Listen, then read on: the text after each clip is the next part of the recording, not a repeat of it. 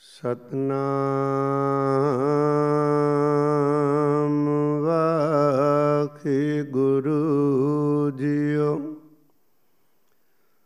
ਹਰ ਧਿਆਵੈ ਹਰ ਧਿਆਵੈ ਤੁਧ ਜੀ। ਸੇ ਜਨ ਜੁਗ ਮੈਂ ਸੁਖ ਵਾਸੀ। ਸੇ ਮੁਕਤ ਸੇ ਮੁਕਤ ਪਏ ਜਿਨ ਹਰ ਧਿਆਇਆ ਜੀ ਤਿਨ ਟੂਟੀ ਜਮ ਕੀ ਪਾਸੀ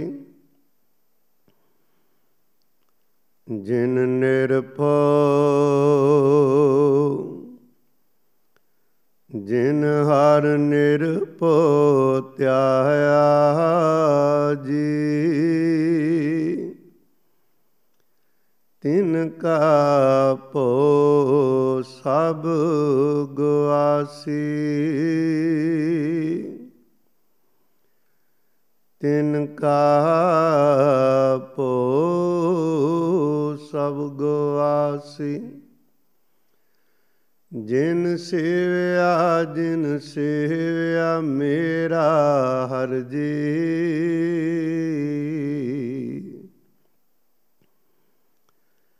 ਤੇ ਹਰ ਹਰ ਰੂਪ ਸਮਾਸੀ।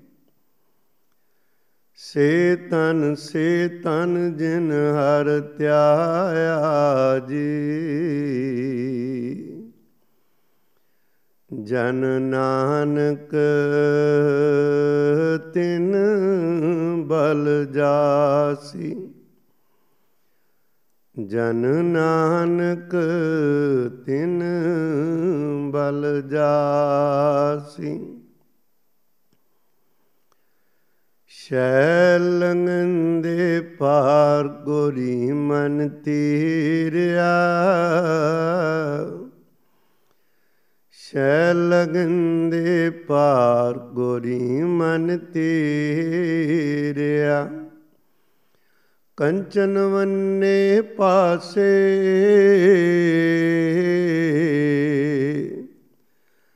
ਕਲਵਤ ਚੀਰਿਆ।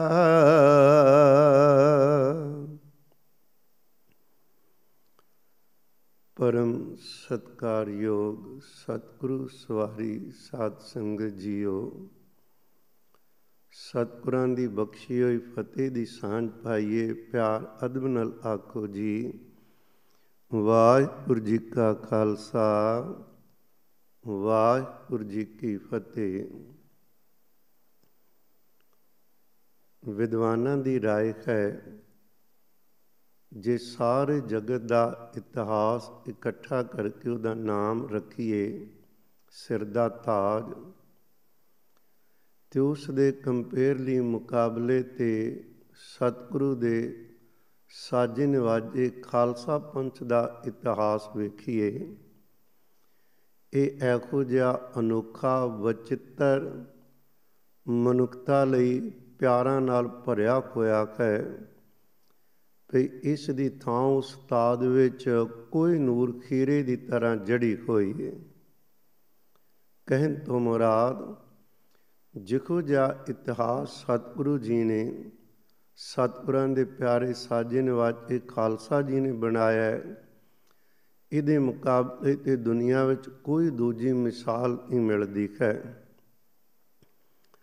ਅੱਜ ਆਪਾਂ ਉਸ ਸਤਿਗੁਰੂ ਕੇ ਬਖਸ਼ਾਂ ਦੇ ਪਾਤਰ ਖਾਲਸੇ ਦੀ ਅਗਵਾਈ ਕਰਨ ਵਾਲੇ ਅਤ ਮੁਸੀਬਤਾਂ ਭਰੇ ਸਮੇਂ ਅੰਦਰ ਜਿਨ੍ਹਾਂ ਨੇ ਅਗਵਾਈ ਕੀਤੀ, ਉਹਨਾਂ ਦੇ ਦਰਸ਼ਨ ਕਰਾਂਗੇ।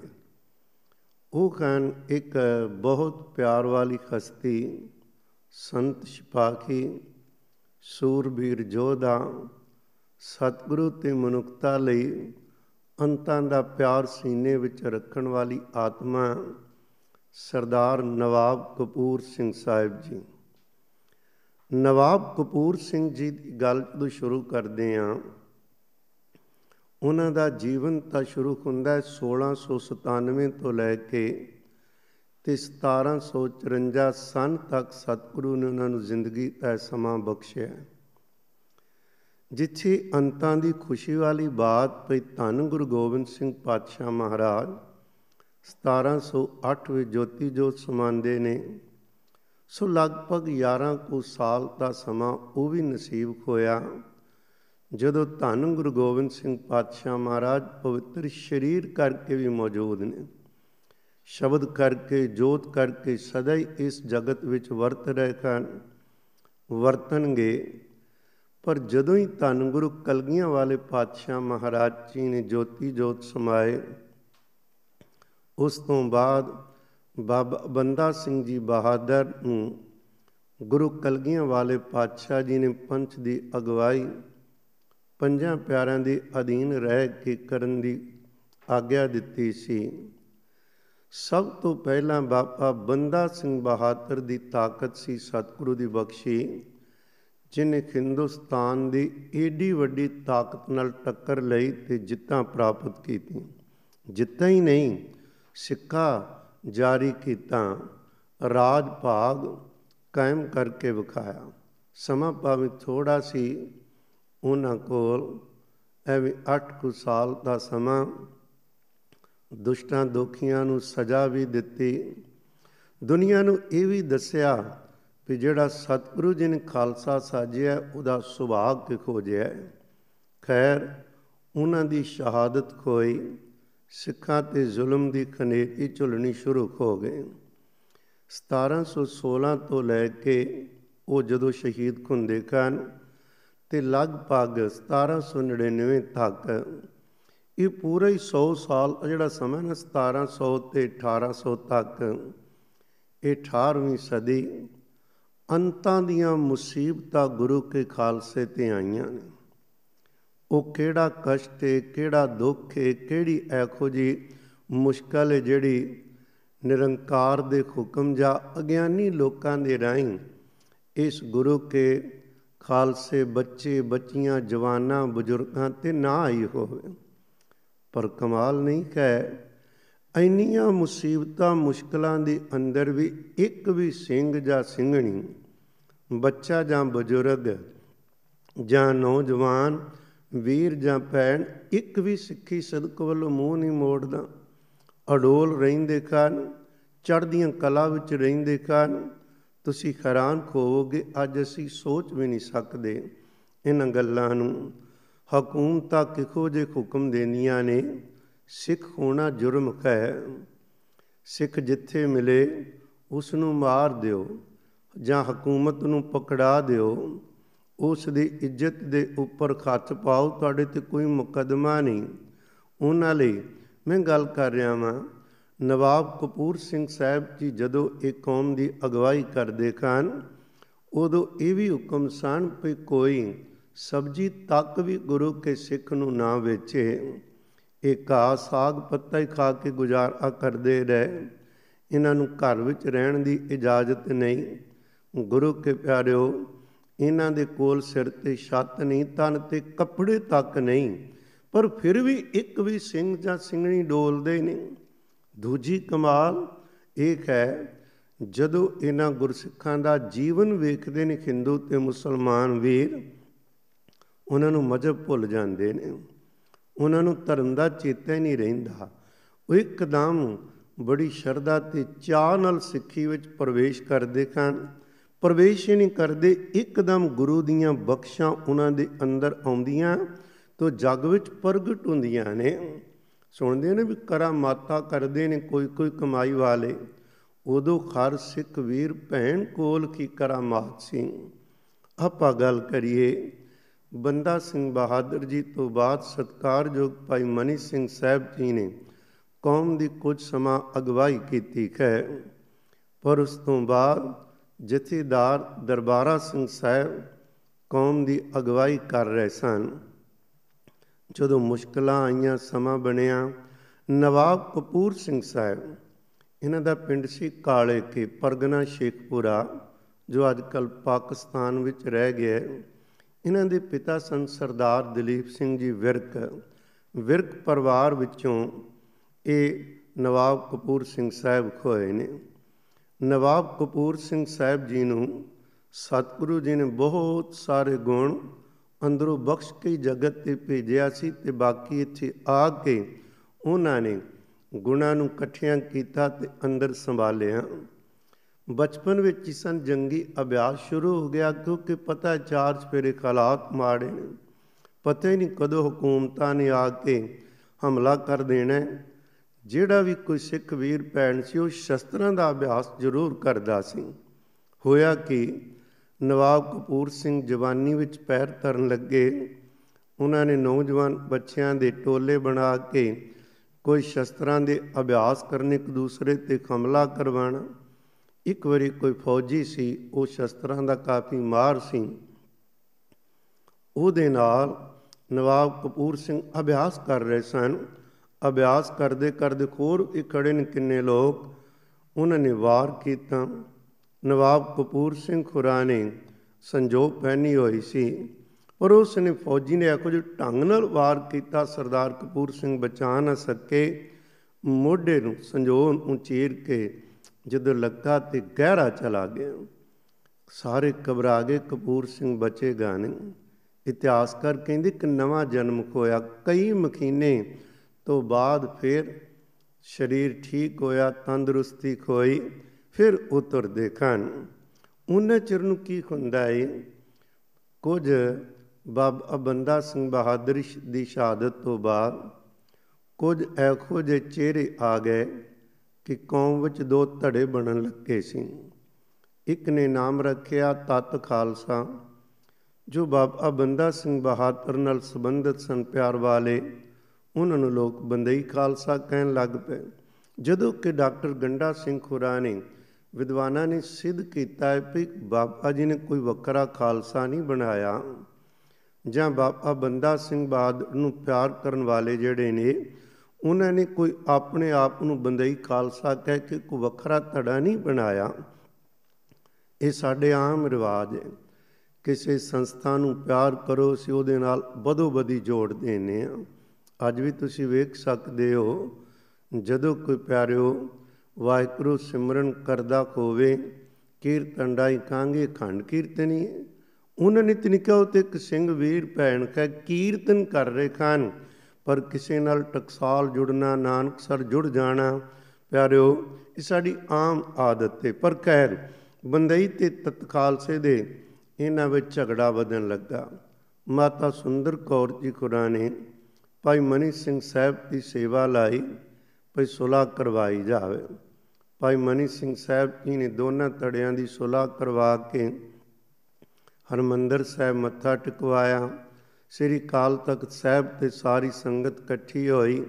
ਬਹੁਤ ਵੱਡਾ ਸਮਾਗਮ ਰਚਿਆ ਗਿਆ ਖੁਸ਼ੀ ਅੰਦਰ। ਅੰਮ੍ਰਿਤ ਸੰਚਾਰ ਕੀਤੇ। ਉਦੋਂ ਭਾਈ ਮਨੀ ਸਿੰਘ ਸਾਹਿਬ ਜੀ ਪੰਜਾਂ ਦੀ ਸੇਵਾ ਵਿੱਚ ਨੇ। ਜਦੋਂ ਸਰਦਾਰ ਕਪੂਰ ਸਿੰਘ ਸਾਹਿਬ ਜੀ ਨੇ ਅੰਮ੍ਰਿਤ ਦੀ ਦਾਤ ਉਦੋਂ ਲਈਏ, ਹੁਣ ਅੰਮ੍ਰਿਤ ਦੀ ਦਾਤ ਵੀ ਲੈਣੀ, ਭਾਈ ਮਨੀ ਸਿੰਘ ਸਾਹਿਬ ਦੀ ਸੰਗਤ ਉਸ ਤੋਂ ਬਾਅਦ ਇੱਕ ਘਟਨਾ ਘਟਦੀ ਏ ਜਿਸ ਘਟਨਾ ਨੇ ਪੂਰੀ ਕੌਮ ਨੂੰ ਖਿਲਾ ਕੇ ਰੱਖ ਦਿੱਤਾ। ਜਿਸ ਘਟਨਾ ਨੇ ਇੱਕ ਨਵੀਂ ਰੂਹ ਫੂਕ ਦਿੱਤੀ ਪੂਰੇ ਖਾਲਸਾ ਪੰਥ ਦੇ ਅੰਦਰ, ਉਹਦਾ ਅਸਰ ਚੰਗਾ ਵੀ ਬਹੁਤ ਹੋਇਆ।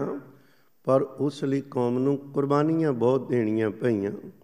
ਉਹ ਕੀ ਸੀ? ਗੱਲ ਸੀ ਕਰ ਰਹੇ ਸਰਦਾਰ ਕਪੂਰ ਸਿੰਘ ਸਾਹਿਬ ਜੀ। ਨਵਾਬ ਕਿਵੇਂ ਬਣਦੇ ਖਾਨ? ਕੌਮ ਦੀ ਅਗਵਾਈ ਕਿਵੇਂ ਕਰਦੇ ਖਾਨ? ਪਿਆਰਿਓ, ਕੁਝ ਕੁ ਵਿਦਵਾਨਾਂ ਨੇ ਸਰਦਾਰ ਕਪੂਰ ਸਿੰਘ ਸਾਹਿਬ ਬਾਰੇ ਲੈਕਚਰ ਕੀਤੇ, ਕਥਾਵਾਂ ਕੀਤੀਆਂ ਨੇ, ਪਰ ਮੈਂ ਸਮਝਦਾ ਬਹੁਤ ਘੱਟ ਨੇ। ਆਪਾਂ ਨੂੰ ਘਰ ਘਰ ਇਹ ਗੱਲ ਪਹੁੰਚਾਉਣ ਲਈ ਸਾਰਿਆਂ ਨੂੰ ਆਪਣੇ ਨਾ ਮਹਾਨ ਜੋਧਿਆਂ ਦੀਆਂ ਕਥਾਵਾਂ, ਗਥਾਵਾਂ ਬਾਰ-ਬਾਰ ਕਰਨੀਆਂ ਬਣਦੀਆਂ ਨੇ। ਗੁਰੂ ਕੇ ਢਾਡੀ ਸਿੰਘ ਅਕਸਰ ਲੜੀਵਾਰ ਇਤਿਹਾਸ ਸੁਣਾਉਂਦੇ ਨੇ। ਆਪਾਂ ਸਾਰੇ ਵੇਖੀਏ ਵੀ ਸਾਡੇ ਮਹਾਨ ਪੁਰਖੇ ਕਿਵੇਂ ਦੇਖੋਏ ਮੈਂ ਗੱਲ ਕਰ ਰਿਹਾ ਸੀ ਘਟਨਾ ਘਟੀ। ਉਹਨੇ ਪੂਰੀ ਕੌਮ ਦੇ ਅੰਦਰ ਇੱਕ ਨਵੀਂ ਰੂਹ ਫੂਕੀ ਸੀ। ਉਹ ਸੀ ਭਾਈ ਤਾਰਾ ਸਿੰਘ ਵਾਮ ਪਿੰਡ ਦੇ ਸੰਤ ਸਿਪਾਹੀ ਸਨ। ਜਦੋਂ ਸਿੰਘ ਜੰਗਲਾਂ ਬੇਲਿਆਂ ਵਿੱਚ ਨੇ, ਉਹਨਾਂ ਦੇ ਰਹਿਣ ਲਈ ਕੋਈ ਟਿਕਾਣਾ ਨਹੀਂ ਸੀ, ਨਾ ਪਿੰਡਾਂ ਵਾਲਿਆਂ ਥਾਂ ਦੇਣੀ ਨਾ ਸ਼ਹਿਰਾਂ ਵਾਲਿਆਂ। ਉਦੋਂ ਇਹਨਾਂ ਨੇ ਇੱਕ ਜਗ੍ਹਾ ਬਣਾਈ ਸੀ ਜਿੱਥੇ ਸਿੰਘ ਠਹਿਰ ਸਕਦੇ ਸੀ, ਪ੍ਰਸ਼ਾਦ ਪਾਣੀ ਛਕਦੇ, ਉਹਨਾਂ ਨੂੰ ਥੋੜਾ ਆਰਾਮ ਮਿਲਦਾ। ਪਰ ਇਹ ਸ਼ਿਕਾਇਤ ਚੁਗਲਖੋਰਾਂ ਨੇ ਹਕੂਮਤ ਕੋਲ ਭੇਜੀ। ਹਕੂਮਤ ਚੜ ਕੇ ਆ ਗਈ। ਉਹਨਾਂ ਦਾ ਟਾਕਰਾ ਅਗੋਂ ਖਾਲਸੇ ਨੇ ਕੀਤਾ। ਉਹਨਾਂ ਨੂੰ ਭਜਾ ਤੇ ਲਿਆ ਪਰ ਖੋਰ ਲਖੌਰ ਤੋਂ ਫੌਜ ਆਉਣ ਕਾਰਨ ਭਾਈ ਤਾਰਾ ਸਿੰਘ ਵਾਨ ਦੀ ਸ਼ਹਾਦਤ ਹੋ ਗਈ ਇਹ 200 ਸਿੰਘ ਸਨ, ਉਧਰ ਖਜ਼ਾਰਾਂ ਨੇ। ਸ਼ਹਾਦਤ ਜਦੋਂ ਕੋਈ ਇਸ ਭਾਈ ਤਾਰਾ ਸਿੰਘ ਵਾਨ ਦੀ ਸ਼ਹਾਦਤ ਨੇ ਇੱਕਦਮ ਖਿਲਾਇਆ। ਜਥੇਦਾਰ ਦਰਬਾਰਾ ਸਿੰਘ ਸਾਹਿਬ ਜੀ ਨੇ ਸ੍ਰੀ ਅਕਾਲ ਤਖਤ ਸਾਹਿਬ ਜੀ ਤੇ ਕੱਟ ਸੱਦਿਆ। ਜਿੱਥੇ ਕਿਧਰੇ ਵੀ ਸਿੱਖ ਵੀਰ ਸਨ, ਆਓ ਕਿੰਨਾ ਕੁ ਚਿਰ ਇਸ ਤਰ੍ਹਾਂ ਆਪਣੇ ਆਪ ਨੂੰ ਮਰਵਾਵਾਂਗੇ? ਆਓ ਸ਼ਸਤਰ ਪਕੜੋ ਤਾਂ ਮਨੁੱਖਤਾ ਨੂੰ ਦਸੀਏ, ਇਨਸਾਨ ਕਿਹੋ ਜਿਹਾ ਚਾਹੀਦਾ ਹੈ? ਰਾਜ ਕਿਹੋ ਜਿਹਾ ਚਾਹੀਦਾ ਹੈ? ਬੰਦਾ ਕਾਦੇ ਲਈ ਰੱਬ ਨੇ ਬਣਾਇਆ ਹੈ? ਪਰ ਇਹ ਸਾਰਾ ਕੁਝ ਦੱਸਣ ਲਈ ਸੌਖਾ ਕੰਮ ਨਹੀਂ ਤੁਹਾਨੂੰ ਆਪਣੀਆਂ ਜ਼ਿੰਦਗੀਆਂ ਭੇਟ ਕਰਨੀਆਂ ਪੈਣਗੀਆਂ। ਇਹ ਸੁਣ ਕੇ ਸੈਂਕੜੇ ਨੌਜਵਾਨ ਜਥੇਦਾਰ ਦਰਬਾਰਾ ਸਿੰਘ ਸਾਹਿਬ ਕੋਲ ਕਾਲ ਤਖਤ ਸਾਹਿਬ ਪਹੁੰਚਦੇ ਨੇ, ਉਹਨਾਂ ਚੋਂ ਇੱਕ ਨੇ ਨਵਾਬ ਕਪੂਰ ਸਿੰਘ ਸਾਹਿਬ ਜੀ। ਇਹਨਾਂ ਨੇ ਪੂਰੇ ਦਾ ਪੂਰਾ ਜੀਵਨ ਸਮਰਪਿਤ ਕਰਕੇ ਜਥੇਦਾਰ ਦਰਬਾਰਾ ਸਿੰਘ ਸਾਹਿਬ ਜੀ ਦੇ ਕੋਲ ਜਾ ਕੇ ਕਾਜਰ ਖੋ ਗਏ ਨੇ। 1726 ਨੂੰ ਘਟਨਾ ਘਟਦੀ ਹੈ ਤਾਂ ਜਦੋਂ ਹੁਣ ਦਿਨ ਰਾਤ ਇਸ ਕੰਮ ਲਈ ਤੁਰ ਪਏ ਨੇ ਨਾ ਘਰ ਦਾ ਮੋਹ ਨਾ ਰਿਸ਼ਤੇਦਾਰਾਂ ਦਾ, ਨਾ ਕੋਈ ਪੈਸਾ ਟਕਾ ਦਾ। ਇਹ ਉਹ ਲੋਕ ਨੇ ਜਿਹੜੇ ਜਿਉ ਰਹੇ ਨੇ ਕੌਮ ਦੀ ਖਾਤਰ। ਜਿਹੜੇ ਸਾਹ ਲੈਂਦੇ ਨੇ, ਧੜਕਦੇ ਨੇ ਅੰਦਰ, ਉਹ ਮਨੁੱਖਤਾ ਤੇ ਦੇਸ਼ ਤੇ ਕੌਮ ਦੀ ਖਾਤਰ। ਜਦੋਂ ਤੁਰ ਪਏ ਨੇ ਇਹ ਲੋਕ, ਪਿਆਰਿਓ, ਮੈਂ ਸ਼ੁਰੂ 'ਚ ਇੱਕ ਦੋ ਪੰਕਤੀਆਂ ਮਹਾਰਾਜ ਜੀ ਦੀਆਂ ਆਪ ਜੀ ਦੇ ਸਾਹਮਣੇ ਗਾਈਆਂ ਨੇ। ਬਾਬਾ ਫਰੀਦ ਸਾਹਿਬ ਦੇ ਬਚਨ ਨੇ, ਕਹਿੰਦੇ ਜਿਵੇਂ ਕੋਈ ਦਰਿਆ ਪਾਰ ਕਰਨਾ ਹੋਵੇ ਤਾਂ ਦਰਿਆ ਪਾਰ ਕਰਨ ਦੀ ਹਿੰਮਤ ਨਾ ਪਵੇ ਵੀ ਪਾਣੀ ਬਹੁਤ ਹੈ ਛੱਲਾਂ ਉੱਚੀਆਂ ਨੇ, ਪਰ ਪਾਰ ਕਰਨਾ ਵੀ ਖੋਵੇ। ਜਿਨ੍ਹਾਂ ਦੇ ਕਮਜ਼ੋਰ ਦਿਲ ਨੇ ਉਹ ਹਿਆ ਨਹੀਂ ਕਰਦੇ। ਤੇ ਜੇਕਰ ਕੋਈ ਵੱਡੇ ਦਿਲ ਵਾਲੇ ਕਹਿਣ, ਅਸੀਂ ਪਹਿਲਾਂ ਪਾਣੀ 'ਚ ਵੜਦੇ ਆਂ ਜੇ, ਉਹ ਨਿਕਲ ਜਾਣ ਤਾਂ ਉਹਨਾਂ ਨੂੰ ਵੇਖ ਕੇ ਬਾਕੀਆਂ ਨੂੰ ਵੀ ਹੌਸਲਾ ਹੁੰਦਾ ਹੈ। ਬਾਬਾ ਫਰੀਦ ਸਾਹਿਬ ਜੀ ਕਹਿੰਦੇ ਨੇ, ਹਮੇਸ਼ਾ ਜ਼ਿੰਦਗੀ 'ਚ ਉਹਨਾਂ ਰੂਹਾਂ ਦੇ ਦਰਸ਼ਨ ਕਰੋ ਸੁਰਤੀ ਦੇ ਸਾਹਮਣੇ ਉਹਨਾਂ ਲੋਕਾਂ ਨੂੰ ਰੱਖੋ, ਜਿਨ੍ਹਾਂ ਨੇ ਸਿੱਖੀ ਸਿਦਕ ਨਿਭਾਇਆ, ਜਿਨ੍ਹਾਂ ਨੇ ਬੰਦਗੀ ਕਰਕੇ ਅਕਾਲ ਪੁਰਖ ਨੂੰ ਪਾਇਆ, ਜਿਨ੍ਹਾਂ ਨੇ ਜੀਵਨ ਵਿੱਚ ਮਨੁੱਖਤਾ ਦੇ ਭਲਾ ਕਰਨ ਲਈ ਆਪਣਾ ਆਪ ਕੁਰਬਾਨ ਕੀਤਾ ਮਹਾਨ ਯੋਧਿਆਂ ਨੂੰ ਯਾਦ ਕਰੋ, ਬੰਦਗੀ ਵਾਲਿਆਂ ਨੂੰ ਯਾਦ ਕਰੋ, ਆਪਣੇ ਅੰਦਰ ਵੀ ਧੀਰਜ ਆਏਗਾ, ਹੌਸਲਾ ਬਣੇਗਾ। ਨਵਾਬ ਕਪੂਰ ਸਿੰਘ ਉਹਨਾਂ ਚੋਂ ਇੱਕ ਨੇ ਬਾਬਾ ਫਰੀਦ ਸਾਹਿਬ ਦਾ ਬਚਨ ਏ, ਉਹ ਕਹਿੰਦੇ, ਸ਼ੈਲ ਲੰਗਨ ਦੇ ਪਾਰ ਨੌਜਵਾਨ ਬਾਂਕੇ ਜਵਾਨ ਜਦੋਂ ਪਾਰ ਖੋਣ, ਗੋਰੀ ਮਨ ਧੀਰਿਆ ਕਮਜ਼ੋਰ ਦਿਲਾਂ ਦੇ ਅੰਦਰ ਵੀ ਧੀਰਜ ਆਉਂਦੀ ਹੈ ਇੱਕ ਉਹ ਲੋਕ ਨੇ ਜਿਹੜੇ ਕੰਚਨ ਮੰਨੇ ਪਾਸੇ ਪੈਸੇ ਟਕੇ ਲਈ ਜਿਉਂਦੇ ਹਨ ਜਾਇਦਾਦਾਂ ਲਈ। ਰੱਬ ਨੂੰ ਮਨੁੱਖਤਾ ਲਈ ਕੋਈ ਦਰਦ ਨਹੀਂ। ਕਹਿੰਦੇ ਉਹ ਤਲਵਤ ਚੀਰਿਆ ਜਿਉਂਦਿਆਂ ਜੀ ਵੀ, ਦੁਬਦਾ ਤੇ ਦਵੈਸ਼ ਵਿੱਚ ਚੀਰੇ ਜਾਂਦੇ, ਮਰਨ ਤੋਂ ਬਾਅਦ ਅੰਤਾਂ ਦਾ ਦੁੱਖ। ਹੈ ਆਪਾਂ ਗੱਲ ਕਰ ਰਹੇ ਸਾਂ, ਨਵਾਬ ਕਪੂਰ ਸਿੰਘ ਖਾਜਰ ਖੋ ਗਏ। ਬਹੁਤ ਵੱਡਾ ਕੱਠ ਜਥੇਦਾਰ ਦਰਬਾਰਾ ਸਿੰਘ ਖੁਰਾ ਨੇ ਉਦੋਂ ਇਸ ਖਾਲਸੇ ਨੂੰ ਕਿਹਾ, ਆਪਾਂ ਹੁਣ ਨਵੇਂ ਢੰਗ ਨਾਲ ਇਹ ਲੜਾਈ ਲੜਨੀ ਏ। ਤਿੰਨ ਫੈਸਲੇ ਲਏ ਸਨ, ਸ਼ੁਰੂਆਤ ਕੀਤੀ ਸੀ। ਸਭ ਤੋਂ ਪਹਿਲਾ ਫੈਸਲਾ ਸੀ, ਆਪਾਂ ਨੇ ਕੋਈ ਇਹ ਤਾਂ ਨਹੀਂ ਨਾ ਵੀ ਲੋਕਾਂ ਨੂੰ ਤੰਗ ਕਰਨਾ ਹੈ, ਤੰਗ ਤੇ ਖੋਰਨ ਨੂੰ ਬਚਾਉਣਾ ਹੈ। ਉਹਦੇ ਲਈ ਪਹਿਲਾ ਫੈਸਲਾ ਹੈ ਭਈ ਸ਼ਾਹੀ ਖਜ਼ਾਨਾ, ਜਿਹੜਾ ਲੋਕਾਂ ਦੀ ਰੱਤ ਚੋ ਚੋ ਕੇ ਇਕੱਠਾ ਕਰਦੇ ਹਾਕਮ ਲੋਕ, ਸ਼ਾਹੀ ਖਜ਼ਾਨੇ ਨੂੰ ਖੋਣਾ ਪੈਸਾ ਕੋਲ ਹੋਏਗਾ ਤੇ ਅੱਗੇ ਕੁਝ ਕਰਾਂਗੇ। ਦੂਸਰੀ ਗੱਲ ਪੈਸਾ ਕੋਲ ਹੋਵੇ, ਹਥਿਆਰ ਨਾ ਖੋਵੇ, ਤਾਂ ਫਿਰ ਵੀ ਮਾਰ ਪਵੇਗੀ। ਇਹੀ ਕੰਮ ਹੋਇਆ ਸੀ ਨਾ 1984 ਅੰਦਰ। ਪੈਸਾ ਸੀ, ਘਰ ਘਾਟ ਵੱਡੇ ਸਨ, ਗੱਡੀਆਂ ਸਨ। ਡੰਡਾ ਤੱਕ ਨਹੀਂ ਕਿਸੇ ਨੇ ਕਰ ਰੱਖਿਆ। ਆਏ ਕੋਈ 50 100 ਆਦਮੀ ਤੇ ਪੂਰੇ ਘਰ ਨੂੰ ਬਰਬਾਦ ਕਰਕੇ ਅੱਗੇ ਤੁਰ ਗਏ।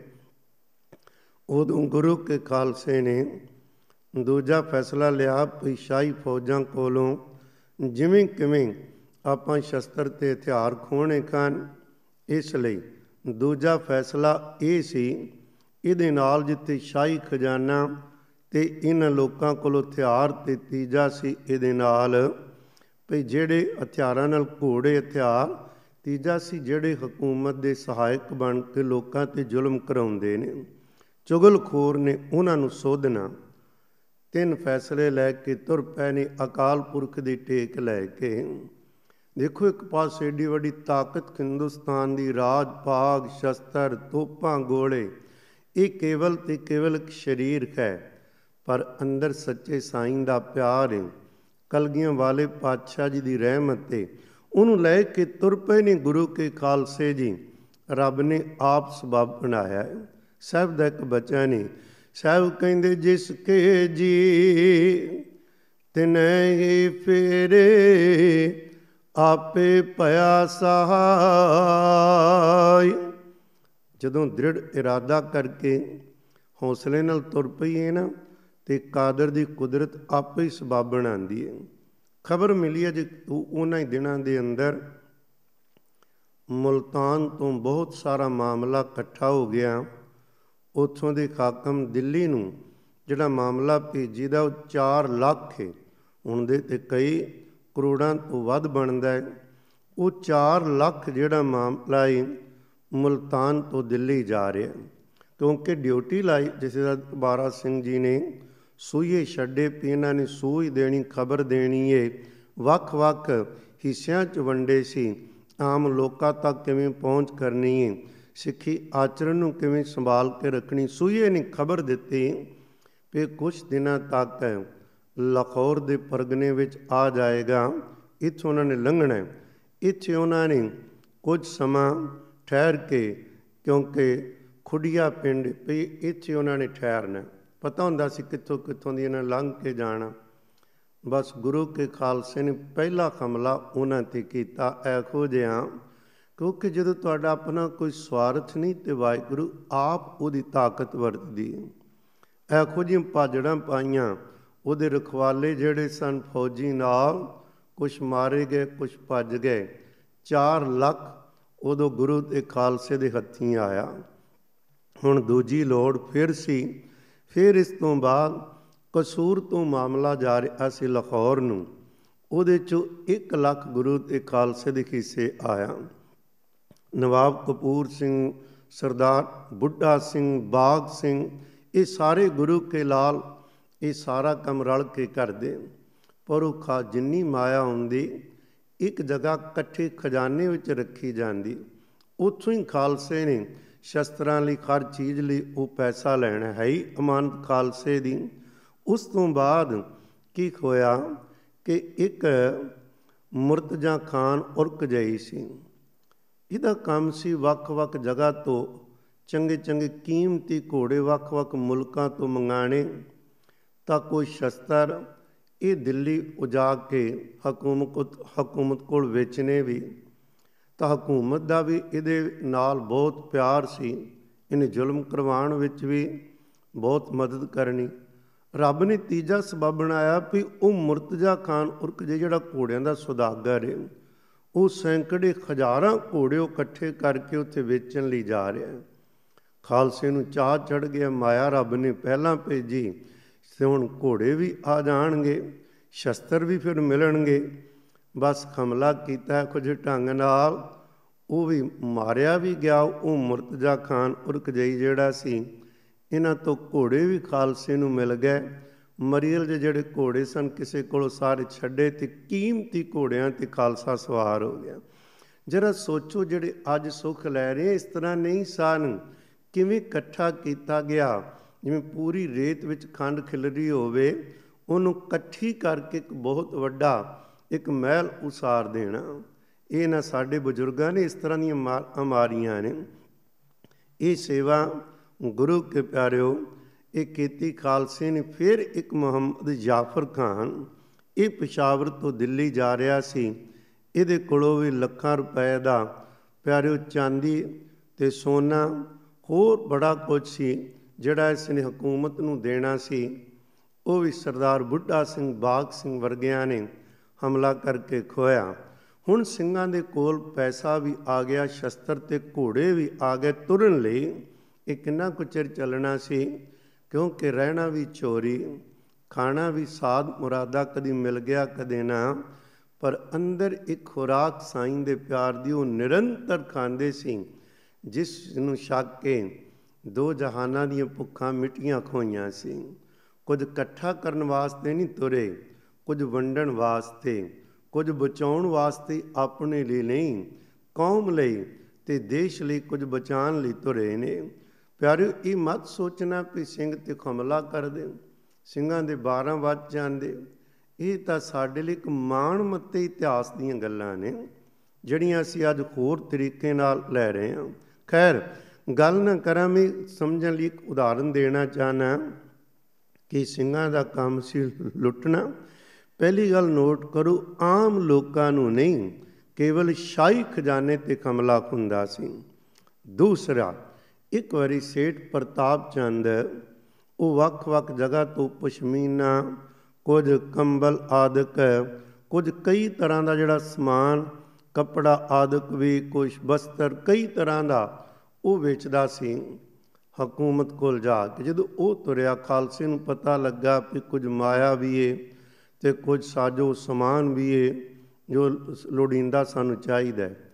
ਨਵਾਬ ਕਪੂਰ ਸਿੰਘ ਤੇ ਜਥੇਦਾਰ ਤਰਵਾਰਾ ਸਿੰਘ ਅਜੇ ਖੈਨ ਸਾਰੇ ਪੰਚ ਨੇ ਇਕੱਠਾ ਹੋ ਕੇ ਖਾਲਸਿਆਂ ਨੇ ਹਮਲਾ ਕੀਤਾ ਖੋ ਲਿਆਂਦਾ। ਪਤਾ ਲੱਗਾ ਸੂਈਆਂ ਤੋਂ ਸੇਠ ਪ੍ਰਚਾਤ ਪ੍ਰਤਾਪ ਚੰਦ ਡਰ ਕੇ ਇੱਕ ਪਾਸੇ ਖੋ ਗਿਆ ਸੀ। ਕਿਉਂਕਿ ਜਦੋਂ ਤੁਰਦੇ ਸੀ ਨਾ ਨਾਲ ਰਾਖੀ ਲਈ, ਬਹੁਤ ਸਾਰੇ ਸਿਪਾਹੀ ਵੀ ਤੁਰਿਆ ਕਰਦੇ ਸਨ। ਜਦੋਂ ਕਿਸੇ ਨੇ ਖਬਰ ਦਿੱਤੀ ਕਿ ਇਹ ਸੁਦਾਗਰ ਹੈ ਇਹਨੂੰ ਅਜੇ ਪੈਸਾ ਹਕੂਮਤ ਵੱਲੋਂ ਮਿਲਿਆ ਨਹੀਂ, ਇਹਨੇ ਵੇਚ ਕੇ ਪੈਸਾ ਲੈਣਾ ਇੱਕਦਮ ਖਾਲਸੇ ਨੇ ਫੈਸਲਾ ਕੀਤਾ ਵੀ ਇੱਕ ਵੀ ਚੀਜ਼ ਆਪਾਂ ਵਰਤਣੀ ਨਹੀਂ। ਭਾਵੇਂ ਸਾਡੇ ਕੋਲ ਤਾਂ ਢੱਕਣ ਲਈ ਇੱਕ ਵੀ ਕਪੜਾ ਨਹੀਂ, ਕੱਪੜੇ ਰੱਬ ਨੇ ਭੇਜੇ ਨੇ ਪਰ ਵਾਪਸ ਕਰਨੇ ਨੇ। ਸੇਠ ਪ੍ਰਤਾਪ ਚੰਦ ਨੂੰ ਲੱਭਿਆ, ਸਾਰਾ ਮਾਲ ਉਹਨੂੰ ਵਾਪਸ ਕੀਤਾ ਤੇ ਕਹਿਣ ਲੱਗੇ ਭੁਲੇਖੇ ਨਾਲ ਕਮਲਾ ਹੋ ਗਿਆ। ਅਸੀਂ ਆਮ ਵਪਾਰੀਆਂ, ਸੁਦਾਗਰਾਂ ਨੂੰ, ਲੋਕਾਂ ਨੂੰ ਤੰਗ ਨਹੀਂ ਕਰਨਾ। ਅਸੀਂ ਕੋਈ ਖੋਣ ਲੈਣੀ ਤੁਰੇ। ਅਸੀਂ ਤੇ ਖੋਇਆ ਖੋਇਆ ਲੋਕਾਂ ਦਾ ਮਾਲ, ਜੋ ਇਹ ਹਾਕਮ ਲੋਕ ਸਾਮ ਕੇ ਰਾਜ ਭਾਗ ਕਰਦੇ ਨੇ, ਉਹ ਮਨੁੱਖਤਾ ਦੇ ਭਲੇ ਲਈ ਵਰਤਨਾ ਹੈ। ਪਿਆਰੇ ਇਨੀ ਇਹਨਾਂ ਸਿੰਘਾਂ ਦਾ ਉੱਚਾ ਆਚਰਣ, ਇੱਕ ਵੀ ਪੈਸਾ ਨਹੀਂ ਰੱਖਦੇ। ਕਮਾਲ ਦਾ ਸਿੱਖੀ ਦਾ ਜੀਵਨ ਹੈ ਨਾ। ਗੱਲ ਚੱਲਦੀ ਮੈਂ ਇੱਕ ਨਿੱਕੀ ਜੀ ਉਦਾਹਰਨ ਤੁਹਾਨੂੰ ਚੇਤਾ ਕਰਾਵਾਂ। ਬਾਬਾ ਮੱਗਰ ਸਿੰਘ ਸਾਹਿਬ ਇੱਥੇ ਬਾਅਦ ਵਿੱਚ ਹੋਏ ਨੇ ਨਾ, ਜਦੋਂ ਅੰਗਰੇਜ਼ਾਂ ਦੇ ਰਾਜ ਵੇਲੇ, ਤਾਂ ਉਦੋਂ ਜਦੋਂ ਪਹਿਲੀ ਜੰਗ ਲੱਗਦੀ ਵਿਸ਼ਵ ਦੀ, ਤੇ ਉਦੋਂ ਇਹ ਹਿੰਦੁਸਤਾਨ ਦੀਆਂ ਫੌਜਾਂ ਵੱਲੋਂ ਜਦੋਂ ਇਹ ਸਿੱਖ ਪਲਟਣਾ ਆਈਆਂ ਫਰਾਂਸ, ਬਾਹਰ ਦਾ ਭਾਵ ਮੀਟ, ਆਂਡਾ ਵਗੈਰਾ ਛਕਦੇ ਨਹੀਂ ਸੀ ਤਾਂ ਹਕੂਮਤ ਨੇ ਕਿਹਾ ਭਈ ਹਰ ਚੀਜ਼ ਵਿੱਚ ਮੀਟ ਆਂਡਾ ਤੁਹਾਨੂੰ ਖਾਣਾ ਪਵੇਗਾ ਬਾਬਾ ਮੱਗਰ ਸਿੰਘ ਤੇ ਕੁਝ ਹੋਰ ਸਿੰਘ ਸਨ, ਉਹਨਾਂ ਕਹਿੰਦੇ ਸੀ ਨਹੀਂ ਖਾਣਾ। ਕਹਿੰਦੇ ਸਜ਼ਾ ਫਿਰ ਹੋਰ ਇਸ ਕੁਝ ਦੇਣਾ ਵੀ ਨਹੀਂ। ਕਹਿੰਦੇ ਠੀਕ ਆ 8 ਦਿਨ ਲੰਘ ਗਏ ਭੁੱਖੇ ਭਾਣਿਆਂ ਨੂੰ, ਕਿਉਂਕਿ ਜੰਗ ਚੱਲਦੀ ਪਈ ਸੀ। ਇੱਕ ਦਿਨ ਵੇਖਿਆ ਵੀ ਘਰ ਖਾਲੀ ਖਾਨ ਸੇਬਾਂ ਦਾ ਭਰਿਆ ਪਿਆ ਹੈ। ਇੱਕ ਦੋ ਸਿੰਘ ਨੇ ਸੇਬਾਂ ਦੀ ਝੋਲੀ ਭਰੀ ਲਿਆ ਕੇ ਕਹਿਣ ਲੱਗੇ, ਖਾਲਸਾ ਜੀ, ਆਪਾਂ ਛਕ ਲਈਏ। ਬਾਬਾ ਮੱਗਰ ਸਿੰਘ ਜੀ ਕਹਿਣ ਲੱਗੇ, ਘਰ ਦੇ ਘਰ ਸਨ। ਕਹਿੰਦੇ, ਨਹੀਂ, ਘਰ ਖਾਲੀ ਸੀ। ਕਹਿੰਦੇ, ਸੇਬ ਉੱਥੇ ਹੀ ਪਾ ਕੇ ਆਓ। ਭਾਵੇਂ 7-8 ਦਿਨਾਂ ਦੇ ਭੁੱਖੇ ਆ, ਪਰ ਕਿਸੇ ਦਾ ਹੱਕ ਨਹੀਂ ਖਾਵਾਂਗੇ। ਜਾਂ ਪੁੱਛ ਕੇ ਲਿਆਉਣਾ, ਜਾਂ ਆਪ ਦੇਵੇ ਤੱਕਾ ਨਹੀਂ ਤੇ ਚੋਰੀ ਨਹੀਂ। ਕਮਾਲ ਦਾ ਆਚਰਣ 7 ਦਿਨ ਦੇ ਭੁੱਖੇ ਇੱਕ ਸੇਬ ਤੱਕ ਨਹੀਂ ਅੰਦਰ ਜਾਣ ਦਿੰਦੇ। ਕਿਉਂਕਿ ਉਹਦਾ ਕਾਰਨ ਜਿਨ੍ਹਾਂ ਦੇ ਅੰਦਰ ਸਤਿਗੁਰੂ ਦਾ ਪਿਆਰ ਹੋਏ ਨਹੀਂ ਕਹਿੰਦੇ, ਚਲੋ ਕੋਈ ਨਹੀਂ 7 ਦਿਨ, ਬਾਕੀ ਦਿਨਾਂ 'ਚ ਸੱਚ ਸਹੀ ਤੇ ਇੱਕ ਦਿਨ ਝੂਠ ਸਹੀ, ਕਦੇ ਨਹੀਂ ਇਸ ਤਰ੍ਹਾਂ ਚੱਲਦਾ। ਜਿਵੇਂ ਅੱਖ ਵਿੱਚ ਇੱਕ ਨਿੱਕੀ ਜੀ ਚੀਜ਼ ਵੀ ਪੈ ਜਾਵੇ, ਉਹ ਅੰਦਰ ਨਹੀਂ ਰੱਖਦੀ, ਅੱਖ ਦੁੱਖ ਦੀ ਪਾਣੀ ਵਗਦਾ, ਗੁਰੂ ਦੇ ਖਾਲਸੇ ਦੇ ਅੰਦਰ ਇੱਕ ਵੀ ਚੀਜ਼ ਉਹ ਨਹੀਂ ਗੁਰੂ ਕੇ ਪਿਆਰਿਓ, ਰਹਿ ਸਕਦੀ ਜਿਹੜਾ ਇਹਦਾ ਆਪਣਾ ਹੱਕ ਨਾ ਖੋਵੇ। ਹਮੇਸ਼ਾ ਗੁਰੂ ਦਾ ਸਿੱਖ ਇਹ ਚੇਤਾ ਰੱਖਦਾ ਏ, ਮੈਂ ਉਹ ਕੰਮ ਨਹੀਂ ਕਰਨਾ ਜਿਹਦੇ ਨਾਲ ਮੈਨੂੰ ਰੱਬ ਤੋਂ ਗੁਰੂ ਨਾਨਕ ਸਾਹਿਬ ਤੋਂ ਦੂਰ ਖੋਣਾ ਪਵੇ। ਇਹਨਾਂ ਨੂੰ ਬਚਨ ਚੇਤਾ ਏ। ਸਾਹਿਬ ਜੀ ਬਚਨ ਕਰਦੇ ਨੇ ਨਾ, ਕਹਿੰਦੇ, ਫਰੀਦਾ ਜਿੰਨੀ ਕਮੀ ਨਾਏ ਗੁਣ, ਤੇ ਕਮੜੇ ਵਿਸਾਲ ਮਤ ਸ਼ਰਮਿੰਦਾ ਛੀਵਈ ਸਾਈਂ ਦੇ ਦਰਬਾਰ। ਮਹਾਰਾਜ ਦਾ ਬੱਚਾ ਨੇ ਸਭ ਕਹਿੰਦੇ, ਜਾਲੋ ਐਸੀ ਰੀਤ ਜਿਤ ਮੈਂ ਪਿਆਰਾ ਵਿਸਰੇ ਐਖੋ ਜੀ ਰੀਤ ਸਾੜ ਦਿਓ, ਕੰਮ ਨਾ ਕਰੋ ਜਿਹਦੇ ਰੱਬ ਭੁੱਲੇ। ਤੂੰ ਗੱਲ ਕਰ ਰਹੇ ਸਾਂ, ਖਾਲਸੇ ਦਾ ਕੰਮ ਕੋਈ ਲੁੱਟਣਾ ਜਾਂ ਖੋਣਾ ਨਹੀਂ। ਸ਼ਾਹੀ ਖਜ਼ਾਨੇ ਨੂੰ ਲੁੱਟਣਾ ਉਹ ਲੋਕਾਂ ਦਾ ਧਨ ਹੈ। ਪਰ ਜਦੋਂ ਸੇਠ ਪ੍ਰਤਾਪ ਚੰਦ ਦਾ ਪਤਾ ਲੱਗਾ, ਸਾਰੇ ਸ਼ਮਿਆਨੇ ਮੋੜੇ, ਪੈਸਾ ਟਕਾ ਮੋੜਿਆ, ਕੱਪੜੇ ਮੋੜ ਦਿੱਤੇ, ਜਦੋਂ ਨਾ ਖੁਣ ਇਹ ਲਗਾਤਾਰ ਘਟਨਾ ਘਟਦੀਆਂ ਨੇ। ਪਿਆਰਿਓ, ਭਈ ਜਿੱਥੋਂ ਵੀ ਕੋਈ ਮਾਮਲਾ ਲੈ ਕੇ ਦਿੱਲੀ ਨੂੰ ਜਾ ਰਿਹਾ ਜਾਂ ਲਾਹੌਰ ਨੂੰ, ਰਸਤੇ ਸਿੰਘ ਖੋ ਲੈਂਦੇ ਨੇ। ਜ਼ਕਰੀਆ ਖਾਨ ਸੜ ਪੜ ਗਿਆ।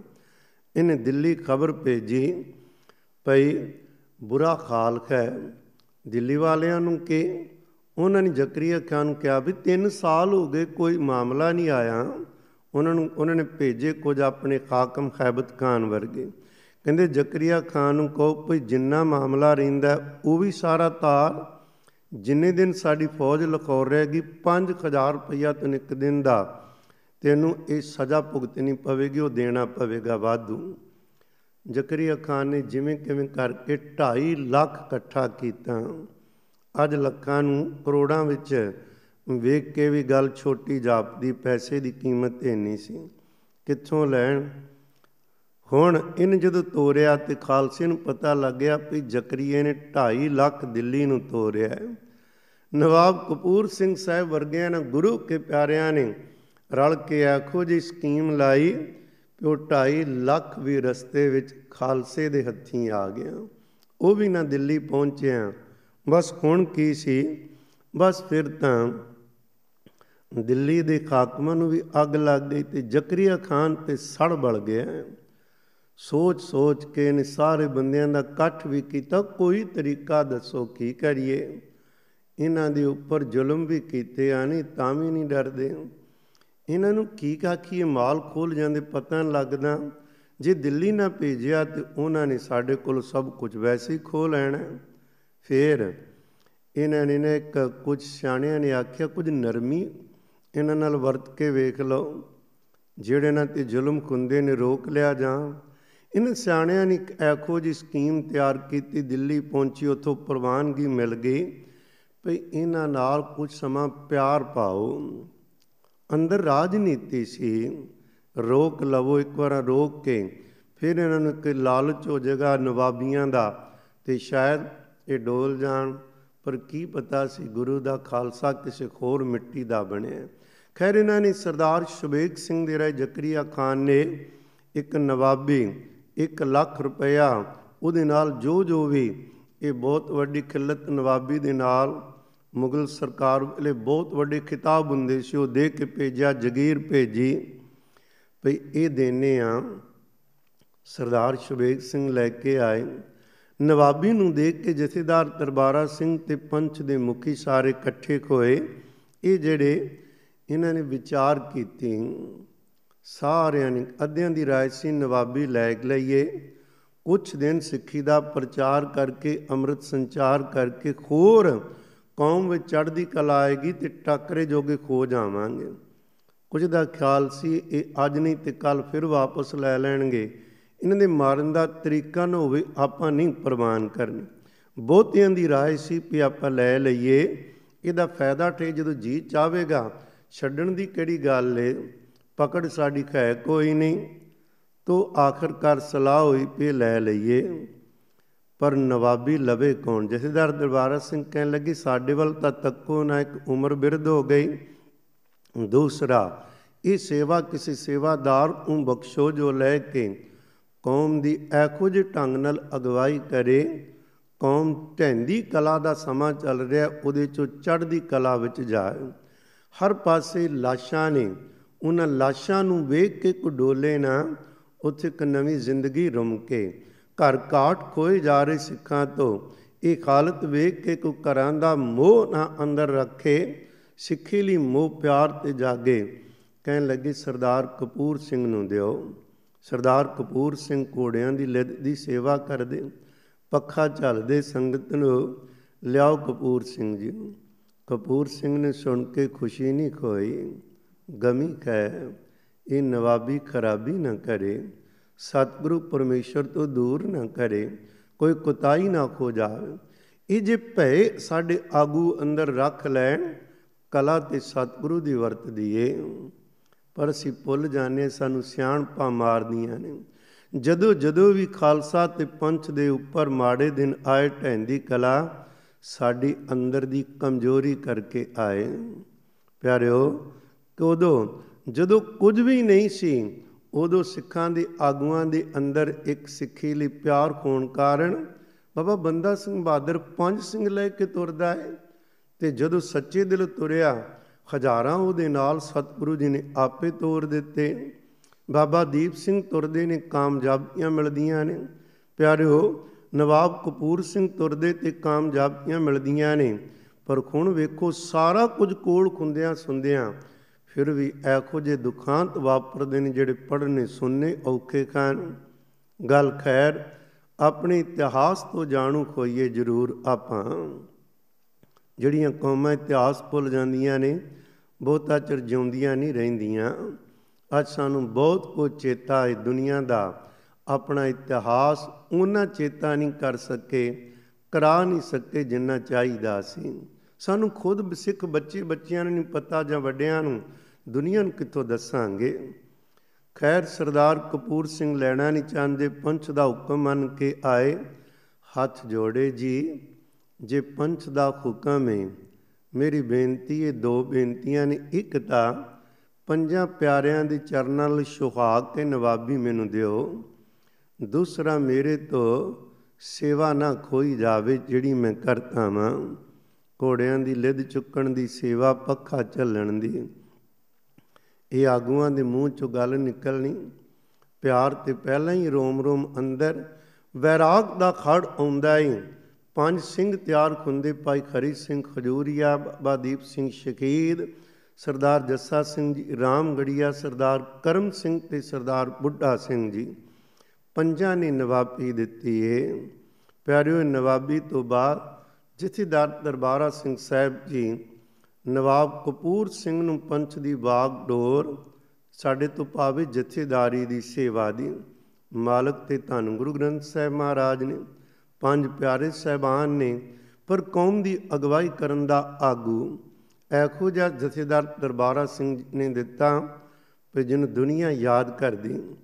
ਸਰਦਾਰ ਦਰਬਾਰਾ ਸਿੰਘ ਸਾਹਿਬ ਜੀ ਗੁਰਪੁਰੀ ਸੁਧਾਰ ਜਾਂਦੇ ਕਨ ਅਕਾਲ ਚਲਾਣਾ ਕਰ ਗਏ। ਹੁਣ ਨਵਾਬ ਕਪੂਰ ਸਿੰਘ ਜੀ ਦੇ ਇਥੋਂ ਸ਼ੁਰੂਆਤ ਹੋ ਜਾਂਦੀ ਪੂਰੀ ਕੌਮ ਦੀ ਜ਼ਿੰਮੇਵਾਰੀ ਕਦੋਂ? ਜਦੋਂ ਕੋ ਰਾਜ ਭਾਗ ਨਹੀਂ ਕੋਲ ਕੋਲ ਕੋਈ ਸੌਣ ਲਈ ਥੱਲੇ ਕੋਈ ਮੰਜਾ ਤੇ ਬਿਸਤਰਾ ਵੀ ਨਹੀਂ, ਘੋੜਿਆਂ ਦੀਆਂ ਕਾਠੀਆਂ ਨੇ ਉਹ ਵੀ ਕਦੇ ਮਿਲਣੀ ਤੇ ਕਦੇ ਨਾ। ਕੋਈ ਉੱਪਰ ਛੱਤ ਨਹੀਂ, ਥੱਲੇ ਆਸਨ ਨਹੀਂ। ਨਵਾਬ ਕਪੂਰ ਸਿੰਘ ਸਾਹਿਬ ਨੇ ਇਹੋ ਜਿਹੇ ਢੰਗ ਨਾਲ ਕੌਮ ਦੀ ਅਗਵਾਈ ਕੀਤੀ ਪਹਿਲਾਂ ਤਾਂ ਜਿਹੜਾ ਖੇਰੂ ਖੇਰੂ ਪੰਥ ਹੋਇਆ ਸੀ, ਕੋਈ ਵੱਖਰੇ ਧੜੇ ਸਨ, ਸਾਰਿਆਂ ਨੂੰ ਇੱਕ ਜਗ੍ਹਾ ਤੇ ਇਕੱਠਾ ਕੀਤਾ। ਉਹਨਾਂ ਬਾਰੇ ਮਸ਼ਹੂਰ ਖੈ ਵਿਦਵਾਨ ਲਿਖਦੇ ਨੇ ਸੈਯਦ ਮੁਹੰਮਦ ਲਤੀਫ ਵਰਗੇ ਨਵਾਬ ਕਪੂਰ ਸਿੰਘ ਸਾਹਿਬ ਨੇ ਇੱਕ ਪੂਰੀ ਕੌਮ ਨੂੰ ਇੱਕ ਪਰਿਵਾਰ ਬਣਾ ਕੇ ਰੱਖ ਦਿੱਤਾ। ਇੱਕ ਨੂੰ ਕੰਡਾ ਚੁਬਦਾ ਸੀ ਤੇ ਪੂਰੀ ਕੌਮ ਨੂੰ ਦਰਦ ਖੁੰਦੀ ਸੀ। ਇੱਕ ਨੂੰ ਜੇਕਰ ਕੋਈ ਦੁੱਖ ਆਇਆ ਤੇ ਪੂਰੀ ਕੌਮ ਦੁੱਖ ਮਹਿਸੂਸ ਕਰਦੇ ਸੀ। ਨਵਾਬ ਕਪੂਰ ਸਿੰਘ ਜੀ ਨੇ ਲੰਗਰ ਸਾਂਝੇ ਕਰ ਦਿੱਤੇ, ਇੱਕ ਪਰਿਵਾਰ ਬਣਾ ਦਿੱਤਾ। ਪਿਆਰਿਓ ਇਤਿਹਾਸਕਾਰ ਕਹਿੰਦੇ ਨੇ ਇਸ ਗੱਲ ਨੂੰ।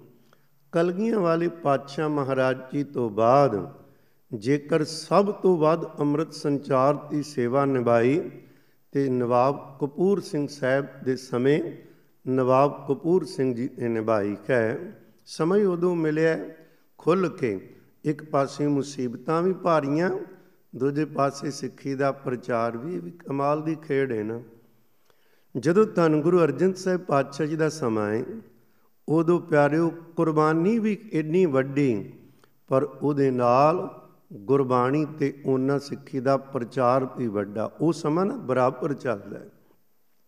ਗੁਰੂ ਅਰਜਨ ਸਾਹਿਬ ਪਾਤਸ਼ਾਹ ਤੇ ਬਚਪਨ ਤੋਂ ਹੀ, ਸ਼ੁਰੂ ਤੋਂ ਜਦੋਂ ਇਹ ਸੇਵਾ ਆਈ ਮੁਸੀਬਤਾਂ ਵੀ ਚਾਰ ਚਪੇਰੇ ਵੱਧ ਨੇ, ਪਰ ਸਿੱਖੀ ਦਾ ਫੈਲਾਅ ਵੀ ਉਦੋਂ ਹੀ ਵੱਧ ਹੋਇਆ। ਹਰਮੰਦਰ ਸਾਹਿਬ ਉਦੋਂ ਮਿਲਦੇ ਕਾਰਨ ਧੰਨ ਸ੍ਰੀ ਗੁਰੂ ਗ੍ਰੰਥ ਸਾਹਿਬ ਪਾਤਸ਼ਾਹ ਦੇ ਪਾਵਨ ਪਵਿੱਤਰ ਸਰੂਪ ਉਦੋਂ ਮਿਲਦੇ ਨੇ। ਭਾਈ ਗੁਰਦਾਸ ਸਾਹਿਬ ਕਹਿੰਦੇ ਅਸੰਖਾਂ ਹੀ ਜਨਕ ਵਰਗੇ ਸਿੱਖ ਉਦੋਂ ਪੈਦਾ ਹੁੰਦੇ ਨੇ। ਜਲੰਧਰ ਦੇ ਵੱਡੇ ਵੱਡੇ ਗਵਰਨਰਾਂ ਨੂੰ, ਉਹਨਾਂ ਨੂੰ ਮੁਗਲਿਆ ਮੁਸਲਮਾਨ ਧਰਮ ਭੁੱਲਦਾ ਹੈ ਤੇ ਉਹ ਸਿੱਖੀ ਵੀ ਸ਼ਾਮਲ ਹੁੰਦੇ ਕਾਰਨ ਖੈਰ ਨਵਾਬ ਕਪੂਰ ਸਿੰਘ ਸਾਹਿਬ ਜੀ ਨੇ ਪਿਆਰੇ ਜਦੋਂ ਇਹ ਸੇਵਾ ਸ਼ੁਰੂ ਕੀਤੀ, ਸਭ ਤੋਂ ਪਹਿਲਾਂ ਪੰਥ ਨੂੰ ਇਕੱਠਾ ਕੀਤਾ, ਇੱਕ ਪਰਿਵਾਰ ਬਣਾਇਆ।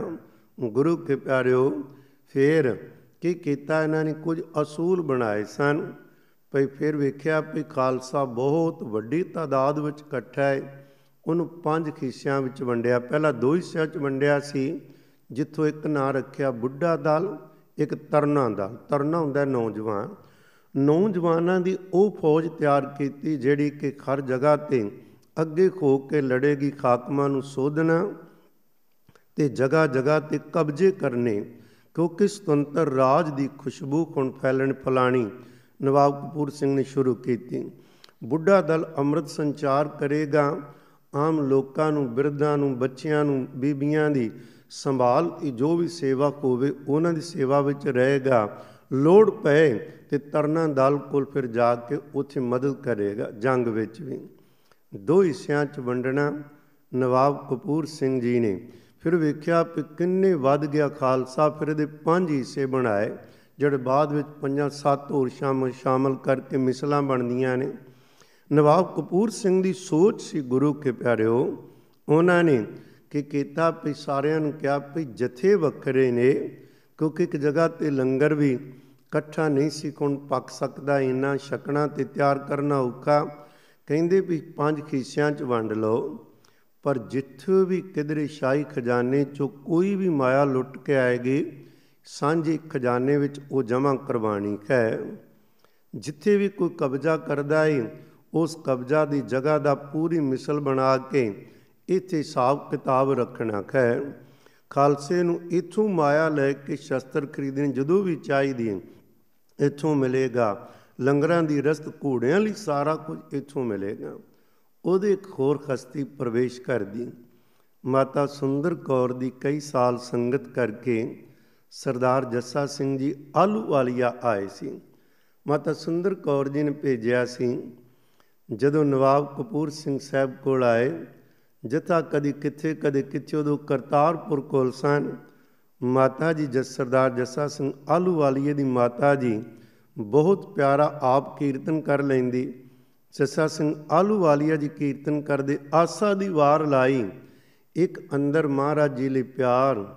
ਮਾਤਾ ਸੁੰਦਰ ਕੌਰ ਦੀ ਅਸੀਸ ਹੈ। ਤੀਸਰਾ ਖਾਲਸਾ ਦੇ ਰਗ ਰਗ ਵਿੱਚ ਗੁਰੂ ਦਾ ਪਿਆਰ। ਐਖੋ ਜਿਹਾ ਸਮਾਂ ਬੰਨਿਆ ਵੀ ਪਤਾ ਹੀ ਨਹੀਂ ਕਿ ਦੇਸ਼ ਕਾਲ ਭੁੱਲ ਗਏ। ਉਧਰੋਂ ਮਾਤਾ ਜੀ ਦਾ ਹੁਕਮ ਸੀ, ਇਸ ਬੱਚੇ ਨੂੰ ਕੋਲ ਰੱਖਣਾ, ਪੰਥ ਦੀ ਅਗਵਾਈ ਕਰੇਗਾ। ਨਵਾਬ ਕਪੂਰ ਸਿੰਘ ਸਾਹਿਬ ਜੀ ਨੇ ਮਾਤਾ ਜੀ ਤੋਂ ਮੰਗ ਲਿਆ ਹੈ ਬੱਚਾ ਵੀ ਸਾਡੇ ਕੋਲ ਪੱਕਾ ਰਹਿਣ ਦਿਓ। ਇਹਨਾਂ ਨੂੰ ਸੇਵਾ ਦਿੱਤੀ ਸੀ ਵੀ ਘੋੜਿਆਂ ਲਈ ਜਿੰਨਾ ਰਾਸ਼ਨ ਪਾਣੀ ਜਾਂਦਾ ਸੀ, ਖਾਲਸੇ ਨੂੰ ਤੋਸ਼ੇ ਖਾਨੇ ਦੀਆਂ ਚਾਬੀਆਂ, ਸਰਦਾਰ ਜੱਸਾ ਸਿੰਘ ਆਲੂਵਾਲੀ ਇਹਨੂੰ ਦੇ ਦਿੱਤੀਆਂ। ਇਹ ਸੇਵਾ ਵਿੱਚ ਹਾਜ਼ਰ ਹੋ ਗਿਆ ਆਪਾਂ। ਅਗਲੇ ਪੜਾਂ 'ਚ ਦਰਸ਼ਨ ਕਰਾਂਗੇ। ਸਰਦਾਰ ਜੱਸਾ ਸਿੰਘ ਆਲੂਵਾਲੀਏ ਦੀ ਬਹਾਦਰੀਆਂ, ਉਹਨਾਂ ਦੇ ਗੁਰੂ ਕੇ ਪਿਆਰਿਓ, ਕਾਰਨਾਮੇ। ਹੁਣ ਗੱਲ ਕਰ ਰਹੇ ਸਾਂ, ਜਦੋਂ ਸ਼ਾਹੀ ਖਜ਼ਾਨੇ ਤੇ ਵੀ ਹਮਲਾ, ਨਵਾਬੀ ਆ ਗਈ। ਸਿੱਖੀ ਦਾ ਪ੍ਰਚਾਰ ਹੁਣ ਬਹੁਤ ਹੋਇਆ, ਪਰ ਜ਼ਕਰੀਆ ਨੇ ਵੇਖਿਆ, ਇਹ ਤਾਂ ਹੋਰ ਫੈਲਦੇ ਜਾਂਦੇ ਨੇ। ਇਹਨਾਂ ਦੀ ਸਿਹਤ ਤੇ ਕੋਈ ਅਸਰ ਹੀ ਨਹੀਂ ਹੈ। ਸ਼ਾਹੀ ਖਜ਼ਾਨੇ ਦੀ ਲੁੱਟ ਵੀ ਕਿਧਰੋਂ ਮਿਲੇ ਤੇ ਮਲ ਦੇ ਕਾਰਨ ਇਹ ਬਦਲ ਗਿਆ। ਇਹ ਨਹੀਂ ਕਿ ਜਦੋਂ ਜ਼ਕਰੀਆ ਨਾਲ ਪ੍ਰਣ ਕੀਤਾ ਸੀ ਤੇ ਮਦਦ ਨਹੀਂ, ਉਸ ਵੇਲੇ ਜਦੋਂ ਵੀ ਕਿਸੇ ਨੇ ਬਾਹਰੋਂ ਹਮਲਾ ਕੀਤਾ, ਜ਼ਕਰੀਆ ਖਾਨ ਦੀ ਮਦਦ ਕੀਤੀ ਸਿੰਘਾਂ ਨੇ। ਪਰ ਹੁਣ ਜ਼ਕਰੀਆ ਡੋਲ ਗਿਆ, ਪ੍ਰਣ ਤੋੜਿਆ, ਇਹਨੇ ਫਿਰ ਜ਼ੁਲਮਾਂ ਦੀ ਆਤਮਕਾ ਦਿੱਤੀ। ਇਹਨੇ ਕਹਿ ਦਿੱਤਾ ਵੀ ਲਿਆਓ, ਜਿੱਥੇ ਵੀ ਸਿੱਖ ਮਿਲੇ, ਇਹਨਾਂ ਵੇਖੋ ਇਹ ਬੱਚੀ, ਇਹ ਬੱਚਾ, ਬੁੱਢਾ ਦਾ ਘਰ ਬਾਹਰ ਮਾਰ ਕਤੋ ਪਹਿਲੀ ਵਾਰੀ ਸੀ ਵੀ ਆਮ ਬੱਚਿਆਂ ਤੇ ਬੀਬੀਆਂ ਨੂੰ ਵੀ ਮਾਰਨਾ। ਜਿਹੜਾ ਕੋਈ ਜਿਉਂਦਾ ਪਕੜਾਵੇ, ਉਹਦੇ 50 ਰੁਪਏ ਕੋਈ ਸਿਰ ਵੱਢ ਲਿਆਵੇ 50 ਰੁਪਏ ਕੋਈ ਸੂਹ ਦੇਵੇ, ਉਹਦੇ 10 ਰੁਪਏ ਇਹ ਮੁੱਲ ਪਾ ਦਿੱਤਾ, ਸਿੱਖ ਹੋਣਾ ਹੀ ਜ਼ੁਲਮ ਸੀ। ਹੁਣ ਐਖੋ ਜਿਹੇ ਹਾਲਾਤਾਂ ਅੰਦਰ, ਪਿਆਰਿਓ, ਡੋਲਣਾ ਸੁਭਾਵਿਕ ਹੈ, ਪਰ ਨਵਾਬ ਕਪੂਰ ਸਿੰਘ ਨੇ ਐਖੋ ਜੀ ਅਗਵਾਈ ਕੀਤੀ 235 ਨਵੇਂ ਬੋਲੇ ਬਣਾ ਦਿੱਤੇ। ਤਿੰਨ ਹਿੱਸਿਆਂ 'ਚ ਵੰਡੇ ਸੀ। ਇੱਕ ਜੰਗ ਵਿੱਚ ਵਰਤਣ ਲਈ, ਇਹ ਕੋਡ ਵਰਡ ਜਿਹੜੇ ਅੱਜ ਵਰਤਦੇ ਵਰਤੇ ਜਾਂਦੇ ਨੇ। ਗੁਪਤ ਬੋਲੇ। ਦੂਸਰਾ ਸੀ ਖਾਣ ਪੀਣ ਦੀਆਂ। ਦੇ ਨਾਲ ਸੰਬੰਧਿਤ ਤੇ ਤੀਜੇ ਸੀ ਆਮ ਬੋਲ ਚਾਲ ਵਾਸਤੇ। ਉਹਦੇ ਨਾਲ ਦੋ ਲਾਭ ਹੁੰਦੇ ਸੀ। ਇੱਕ ਤਾਂ ਪੜਦਾ ਰਹਿ ਜਾਂਦਾ ਸੀ ਹਕੂਮਤ ਤੋਂ। ਪਤਾ ਨਹੀਂ ਕੌਣ ਚਾਰਜ ਫਿਰ ਚੁਗਲ ਨੇ। ਇਸ ਕਰਕੇ ਉਹਨਾਂ ਤੋਂ ਬਚਣ ਲਈ ਬੋਲੇ ਵੱਖਰੇ ਬਣਾ ਲਓ। ਕਿਉਂਕਿ ਬੋਲੀ ਤਾਂ ਹੁਣ ਸਾਰਿਆਂ ਨੂੰ ਆਉਂਦੀ, ਜਿਹੜੀ ਉੱਥੇ ਚੱਲਦੀ ਸੀ। ਨਵੇਂ ਬੋਲ ਬਣਾ ਲਏ ਗਏ, ਉਹਨਾਂ ਬੋਲਾਂ ਲਈ, ਗੁਰੂ ਕੇ ਪਿਆਰਿਓ, ਉਹ ਜਿਹੜੇ ਸ਼ਬਦ ਵਰਤੇ ਗਏ ਬਿਲਕੁਲ ਵੱਖਰੇ ਹਨ ਜਿਵੇਂ ਆਪਾਂ ਆਮ ਸੁਣਦੇ ਹਾਂ ਵੀ ਕੱਲੇ ਨੂੰ ਸਵਾ ਲੱਖ ਕਹਿਣਾ ਲੜਾਈ ਲਈ, ਜਦੋਂ ਸ਼ੁਰੂ ਹੋਣੀ ਤੇ ਕਹਿਣਾ ਵੀ ਖਾਲਸਾ ਡਟ ਗਿਆ, ਤਲਵਾਰ ਨੂੰ ਸ੍ਰੀ ਸਾਹਿਬ ਕਹਿਣਾ, ਅਬਦਾਲੀ ਨੂੰ ਕਾਬਲੀ ਕੁੱਤਾ, ਬੰਦੂਕ ਨੂੰ ਰਾਮ ਜੰਗਾ ਜੇ ਕਿਧਰੇ ਭਜਣਾ ਪਵੇ ਤੇ ਕਹਿਣਾ ਖਾਲਸਾ ਖਰਨ ਖੋ ਜਾਵੇ, ਪਾਪ ਭਜਣਾ ਸ਼ਬਦ ਹੀ ਨਹੀਂ ਹੈ ਇਸੇ ਤਰ੍ਹਾਂ ਗੁਰੂ ਕੇ ਪਿਆਰਿਓ, ਇੱਕ ਬੰਦਾ ਹੋਵੇ ਉਹਨੂੰ ਫੌਜ, ਦੋ ਕੋਣ ਸਿੰਘ ਫੌਜਾਂ, ਉਹਨਾਂ ਨੂੰ ਕਹਿਣਾ ਵੀ ਐਖੋ ਜੇ ਬਣਾਏ ਪਈ ਕਿਧਰੇ ਵੀ ਢੈਂਦੀ ਕਲਾ ਵੀ ਨਾ ਬੋਲੀ ਐਖੋ ਜੇ ਬਣਾ ਦਿੱਤੇ। ਆਮ ਬੋਲ ਚਾਲ ਦੇ ਅੰਦਰ ਕਿਸੇ ਦਾ ਨਾਮ ਸੀ ਨਿੱਕਾ ਸਿੰਘ, ਉਹਦਾ ਨਾਮ ਰੱਖ ਦਿੱਤਾ ਸੁਮੇਰ ਸਿੰਘ। ਨਾ ਹੀ ਵੱਡੇ ਰੱਖ ਦਿੱਤੇ। ਜਿਹੜੇ ਕਮਜ਼ੋਰ ਜੇ ਨਾਂ ਸੀ ਉਹ ਬਦਲ ਕੇ ਬੜੇ ਬੜੇ ਵੱਡੇ ਕਿਧਰੇ ਗੜ ਤੋੜ ਸਿੰਘ, ਐਖੋ ਦੇ ਨਾਮ ਪਈ ਬੰਦਾ ਨਾ ਸੁਣ ਕੇ ਹੀ ਕੰਬ ਜਾਵੇ। ਪਰ ਕਮਾਲ ਸੀ, ਖਾਣ ਪੀਣ ਵਾਲੀਆਂ ਚੀਜ਼ਾਂ ਦੇ ਵੀ ਨਾਮ ਬਦਲੇ ਗਏ। ਛੋਲਿਆਂ ਨੂੰ ਬਦਾਮ ਕਹਿਣਾ, ਸਾਗ ਨੂੰ ਸਬਜ਼ ਪਲਾਓ, ਮਕਈ ਦੇ ਫੁੱਲਿਆਂ ਨੂੰ ਚਾਂਦਨੀ ਪਲਾਓ, ਗੁੜ ਨੂੰ ਸੂਬੇਦਾਰ, ਸ਼ੱਕਰ ਨੂੰ ਸਿਰ ਖੰਡੀ। ਗੁਰੂ ਕੇ ਪਿਆਰਿਓ ਚੱਪਾ ਰੋਟੀ ਜੇ ਲੈਣੀ ਹੋਵੇ ਤੇ ਕਹਿਣਾ ਫੱਟੜ ਪ੍ਰਸ਼ਾਦਾ ਦੇ ਦਿਓ। ਇਹ ਨਵਾਬ ਕਪੂਰ ਸਿੰਘ ਜੀ ਨੇ ਬੋਲੇ, ਕੋਈ ਆਮ ਨਹੀਂ ਬਣਾਏ, ਕੋਈ ਸ਼ੌਂਕ ਨੂੰ ਨਹੀਂ, ਕੌਮ ਨੂੰ ਬਚਾਉਣ ਲਈ। ਜਦੇ ਬੋਲੇ, ਵਰਤੀਏ, ਤਦ ਇੱਕਦਮ ਖਲੂਣਾ ਹੋਣਾ ਚਾਹੀਦਾ ਇਹ ਬੋਲੇ, ਕਦੋਂ ਵਰਤੇ ਸਨ? ਜਦੋਂ ਹਕੂਮਤਾਂ ਕੌਮ ਖਤਮ ਕਰਨਾ ਚਾਹੁੰਦੀਆਂ ਸੀ ਤੇ ਸਾਡੇ ਵੱਡਿਆਂ ਨੇ ਕੌਮ ਨੂੰ ਬਚਾਉਣ ਲਈ ਬੋਲੇ ਘੜੇ ਸਨ। ਉਦੋਂ ਅੰਦਰ ਸਿੱਖੀ ਲਈ ਦਰਦ ਖੋਵੇ, ਪਿਆਰ ਆਵੇ। ਗੁਰੂ ਕੇ ਪਿਆਰਿਓ, ਅਸੀਂ ਗੱਲ ਆ ਛੇੜੀ ਨਵਾਬ ਕਪੂਰ ਸਿੰਘ ਸਾਹਿਬ ਜੀ ਦੀ। ਉਹਨਾਂ ਨੇ ਬੋਲੇ, ਐਖੋ ਜੇ ਦਿੱਤੇ ਦੇ ਨਾਲ ਕਿਸੇ ਚ ਵੀ ਢੈਂਦੀ ਕਲਾ ਨਹੀਂ ਆਈ। ਸਗੋ ਹਕੂਮਤ ਜਿਉਂ-ਜਿਉਂ ਜ਼ੁਲਮ ਕਰ ਰਹੀ ਹੈ। ਸਿੰਘਾਂ ਨੂੰ ਘਰ ਘਾਟ ਤੇ ਛੱਡਨੇ ਪੈ। ਚੋਰੀ ਰਹਿਣਾ ਪਿਆ, ਭੁੱਖੇ ਰਹਿਣਾ ਪਿਆ। ਜੰਗ ਦਾ ਸਮਾਨ ਵੀ ਖੋਲੀ ਵਾਲੀ ਮੁੱਕਣਾ ਹੀ ਸੀ। ਅੱਗੋਂ ਜਦੋਂ ਨਹੀਂ ਆਉਣਾ, ਪਰ ਜ਼ਕਰੀਆ ਉਧਰ ਦਿੱਲੀ ਤੋਂ ਮਦਦ ਲੈ ਕੇ ਸਿੱਖਾਂ ਨੂੰ ਖਤਮ ਕਰਨ ਤੇ ਤੁਲ ਪਿਆ। ਪਰ ਨਵਾਬ ਕਪੂਰ ਸਿੰਘ ਜੀ ਨੇ ਕੌਮ ਨੂੰ ਹੌਸਲਾ ਦੇਣ ਲਈ ਇੱਕ ਦਿਨ ਇੱਕ ਰਚਨਾ ਰਚੀ। ਵੇਖਣਾ ਇਹੋ ਜੀ ਨੀਤੀਵਾਨ ਸਨ। ਦੁਨੀਆ ਹੈਰਾਨ ਸੀ ਵੀ ਇਹੋ ਜੀ ਸੋਚ ਕਿਵੇਂ ਆ ਜਾਂਦੀ ਹੈ ਇਹਨਾਂ ਦੇ ਅੰਦਰ। ਇੱਕ ਦਿਨ ਸਿਰਫ 20 ਸਿੰਘ ਲੈ ਨਾਲ ਆਪਣੇ ਘੋੜੇ ਤੇ ਸਵਾਰ ਸਿੱਧਾ ਲਾਹੌਰ ਜਾ ਵੜੇ। ਲਾਹੌਰ ਤੋਂ ਤੇ ਜ਼ਾਲਮਾਂ ਦਾ ਮੁੱਖ ਕੇਂਦਰ ਹੈ। ਉਥੋਂ ਤਾਂ ਨੇੜੇ ਤੇੜੇ ਨਹੀਂ ਸੀ, ਕੋਈ ਢੁੱਕ ਸਕਦਾ ਸਿੱਖ। ਸਿੱਧੇ ਗਏ ਲਾਹੌਰ। ਉਥੋਂ ਦਾ ਕੋਤਵਾਲ ਜਿਹੜਾ ਸੀ, ਉਹਨਾਂ ਨੂੰ ਜਾ ਕੇ ਜਿੰਨੇ ਸਿਪਾਹੀ ਸਨ, ਕੁਝ ਮਾਰੇ, ਕੁਝ ਭਜਾ ਦਿੱਤੇ। ਕੋਤਵਾਲ ਦੀ ਜਗ੍ਹਾ ਤੇ ਆਪ ਬਹਿ ਗਏ ਜਾ ਕੇ। ਕਿਉਂਕਿ ਮੁਗਲਾਂ 'ਚ ਇਨੀ ਹਿੰਮਤ ਨਹੀਂ ਸੀ ਕਿ ਕੋ ਮੁਕਾਬਲਾ ਕਰੇ। ਜਿਨ ਕੀਤਾ, ਕੁਝ ਮਾਰੇਗੇ ਬਾਕੀ ਸਹਿਮਗੇ ਖਾਲਸੇ ਦੀ ਧਾਂਕ ਇਹ ਨਹੀਂ ਸੀ, ਕਿਉਂਕਿ ਜ਼ਕਰੀਏ ਦੀ ਬਸ ਹੋ ਚੁੱਕੀ ਸੀ। ਮੇਰੇ ਕੋਈ ਤਾਕਤ ਨਹੀਂ ਕੰਮ ਕਰ ਰਹੀ, ਦਿੱਲੀ ਦਾ ਕੋਈ ਭੈ ਨਹੀਂ, ਇਹ ਕਾਦੇ ਬਣੇ ਨੇ, ਕਿਧਰੋਂ ਆਉਂਦੇ, ਕਿੱਥੇ ਰਹਿੰਦੇ ਨੇ? ਕੀ ਕਰੀਏ? ਜਦੋਂ ਨਵਾਬ ਕਪੂਰ ਸਿੰਘ ਕੋਤਵਾਲ ਕਹਿੰਦੇ ਹੁਣ ਕੋਤਵਾਲ, ਕੁਝ ਜਿਹੜੇ ਖਾਲਸੇ ਸਨ ਨਾਲ ਉਹਨਾਂ ਨੂੰ ਪਹਿਰੇ ਤੇ ਲਾ ਦਿੱਤਾ। ਜਿਹੜਾ ਕੋਤਵਾਲ ਨੂੰ ਕਹਿੰਦੇ, ਆ ਬਈ, ਹੁਣ ਤੂੰ ਕੋਤਵਾਲ ਨਹੀਂ, ਇਹ ਗੁਰੂ ਦਾ ਖਾਲਸਾ ਕੋਤਵਾਲ ਇਸ ਕਚਹਿਰੀ ਦਾ। ਕਿੰਨੇ ਕੈਦੀ ਨੇ ਤੇਰੀ ਕੈਦ ਅੰਦਰ ਜੀਤੀ? ਸਾਰਿਆਂ ਨੂੰ ਛੱਡ ਦਿਓ। ਕਹਿਣ ਲੱਗੇ, ਠੀਕ, ਕਿੰਨਾ ਪੈਸਾ ਪਿਆ ਤੇਰੇ ਕੋਲੋਂ ਲਿਆ? ਸਾਰਾ ਉਹ ਲਿਆਂਦਾ। ਕਹਿਣ ਲੱਗੇ, ਹੁਣ ਅਸੀਂ ਚੱਲੇ ਆਂ। ਹਾਕਮਾਂ ਨੂੰ ਕਹਿ ਦੇ, ਅਕਾਲ ਪੁਰਖ ਵੱਲੋਂ ਕੋਤਵਾਲ ਆਏ ਸਨ। ਉਹ ਆ ਕੇ ਇੱਥੇ ਆਪਣੀ ਕੋਤਵਾਲੀ ਦਿਖਾ ਕੇ ਚਲੇ ਗਏ। ਉਹ ਇਹੋ ਜਿਹੇ ਰੂਪ ਵਿੱਚ ਆਏ ਸਨ, ਉਹ ਡਰਨ ਵਾਲੇ ਨਹੀਂ, ਜੇ ਤੁਸੀਂ ਚਾਹੋ। ਉਹਨਾਂ ਨੂੰ ਕਹਿ ਕੇ ਨਵਾਬ ਕਪੂਰ ਸਿੰਘ ਉਤਰੇ ਜਕਾਰੇ ਛੱਡਦੇ ਲਖੌਰ ਵਿੱਚੋਂ ਆ ਗਏ ਕਿਸੇ ਦੀ ਹਿੰਮਤ ਨਹੀਂ ਪਈ ਪਈ ਉਹਨਾਂ ਨੂੰ ਰੋਕ ਸਕੇ।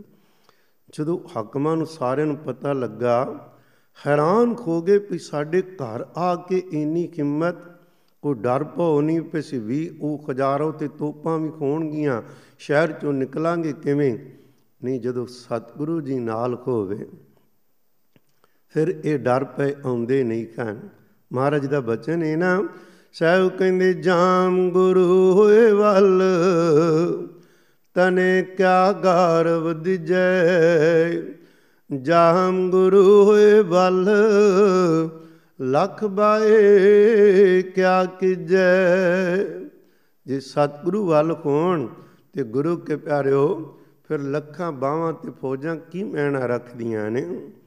ਫਿਰ ਕੇਵਲ ਇੱਕ ਪਾਸੇ ਤਾਂ ਇਸ ਤਰ੍ਹਾਂ ਦੀ ਦਲੇਰੀ ਜਦੋਂ ਵੇਖੀ ਬਾਕੀ ਵੀ ਤੇ ਪੰਥ ਤੇ ਖਾਲਸੇ ਵਿੱਚ ਹੁਣ ਦਲੇਰੀ ਆਏਗੀ ਨਾ, ਮੌਤ ਦਾ ਤੇ ਡਰ ਹੈ ਹੀ ਨਹੀਂ ਨਾ। ਨਾ ਕੋਈ ਮੋਹ ਹੈ ਸ਼ਰੀਰਾਂ ਦਾ, ਨਾ ਪਰਿਵਾਰਾਂ ਦਾ, ਨਾ ਮੌਤ ਦਾ। ਜਿਵੇਂ ਅੰਦਰ ਖੂਨ ਨਾ ਹੋਵੇ, ਕੇਵਲ ਸਿੱਖੀ ਲਈ ਪਿਆਰ ਹੀ ਪਿਆਰ ਕੇਵਲ ਅੰਦਰ ਹੋਵੇ। ਫਿਰ ਦੂਸਰੇ ਪਾਸੇ ਪਟਿਆਲੇ, ਜਿੱਥੋਂ ਬਾਬਾ ਆਲਾ ਸਿੰਘ ਤੋਂ ਪੱਟੀ, ਆਲਾ ਤੋਂ ਪਟਿਆਲਾ ਬਣਿਆ। ਬਾਬਾ ਆਲਾ ਸਿੰਘ ਇਸ ਇਲਾਕੇ ਵਿੱਚ ਤੋਂ ਰਹਿੰਦੇ। ਉਹਨਾਂ ਨੇ ਇੱਛਾ ਕੀਤੀ ਵੀ ਨਵਾਬ ਕਪੂਰ ਸਿੰਘ ਜੀ ਜਦੋਂ ਮਾਲਵੇ ਵੱਲ ਆਏ, ਇਹਨਾਂ ਨੂੰ ਬੜਾ ਖੁਸ਼ੀ ਹੋਈ। ਠੀਕਰੀਵਾਲ ਦੀ ਜਗ੍ਹਾ ਤੇ ਉਤਾਰਾ ਕੀਤਾ। ਬਹੁਤ ਸਾਰੇ ਬੰਦੇ ਲੈ ਕੇ ਬਾਬਾ ਅੱਲਾ ਸਿੰਘ ਜੀ ਨੇ ਬੜੇ ਬੜੇ ਵੱਡੇ ਸਰਦਾਰਾਂ ਨੂੰ ਜੀ ਆਇਆਂ ਕਹਿਣ ਵਾਸਤੇ ਨਵਾਬ ਕਪੂਰ ਸਿੰਘ ਜੀ ਨੂੰ ਅੱਗੋਂ ਮਿਲੇ।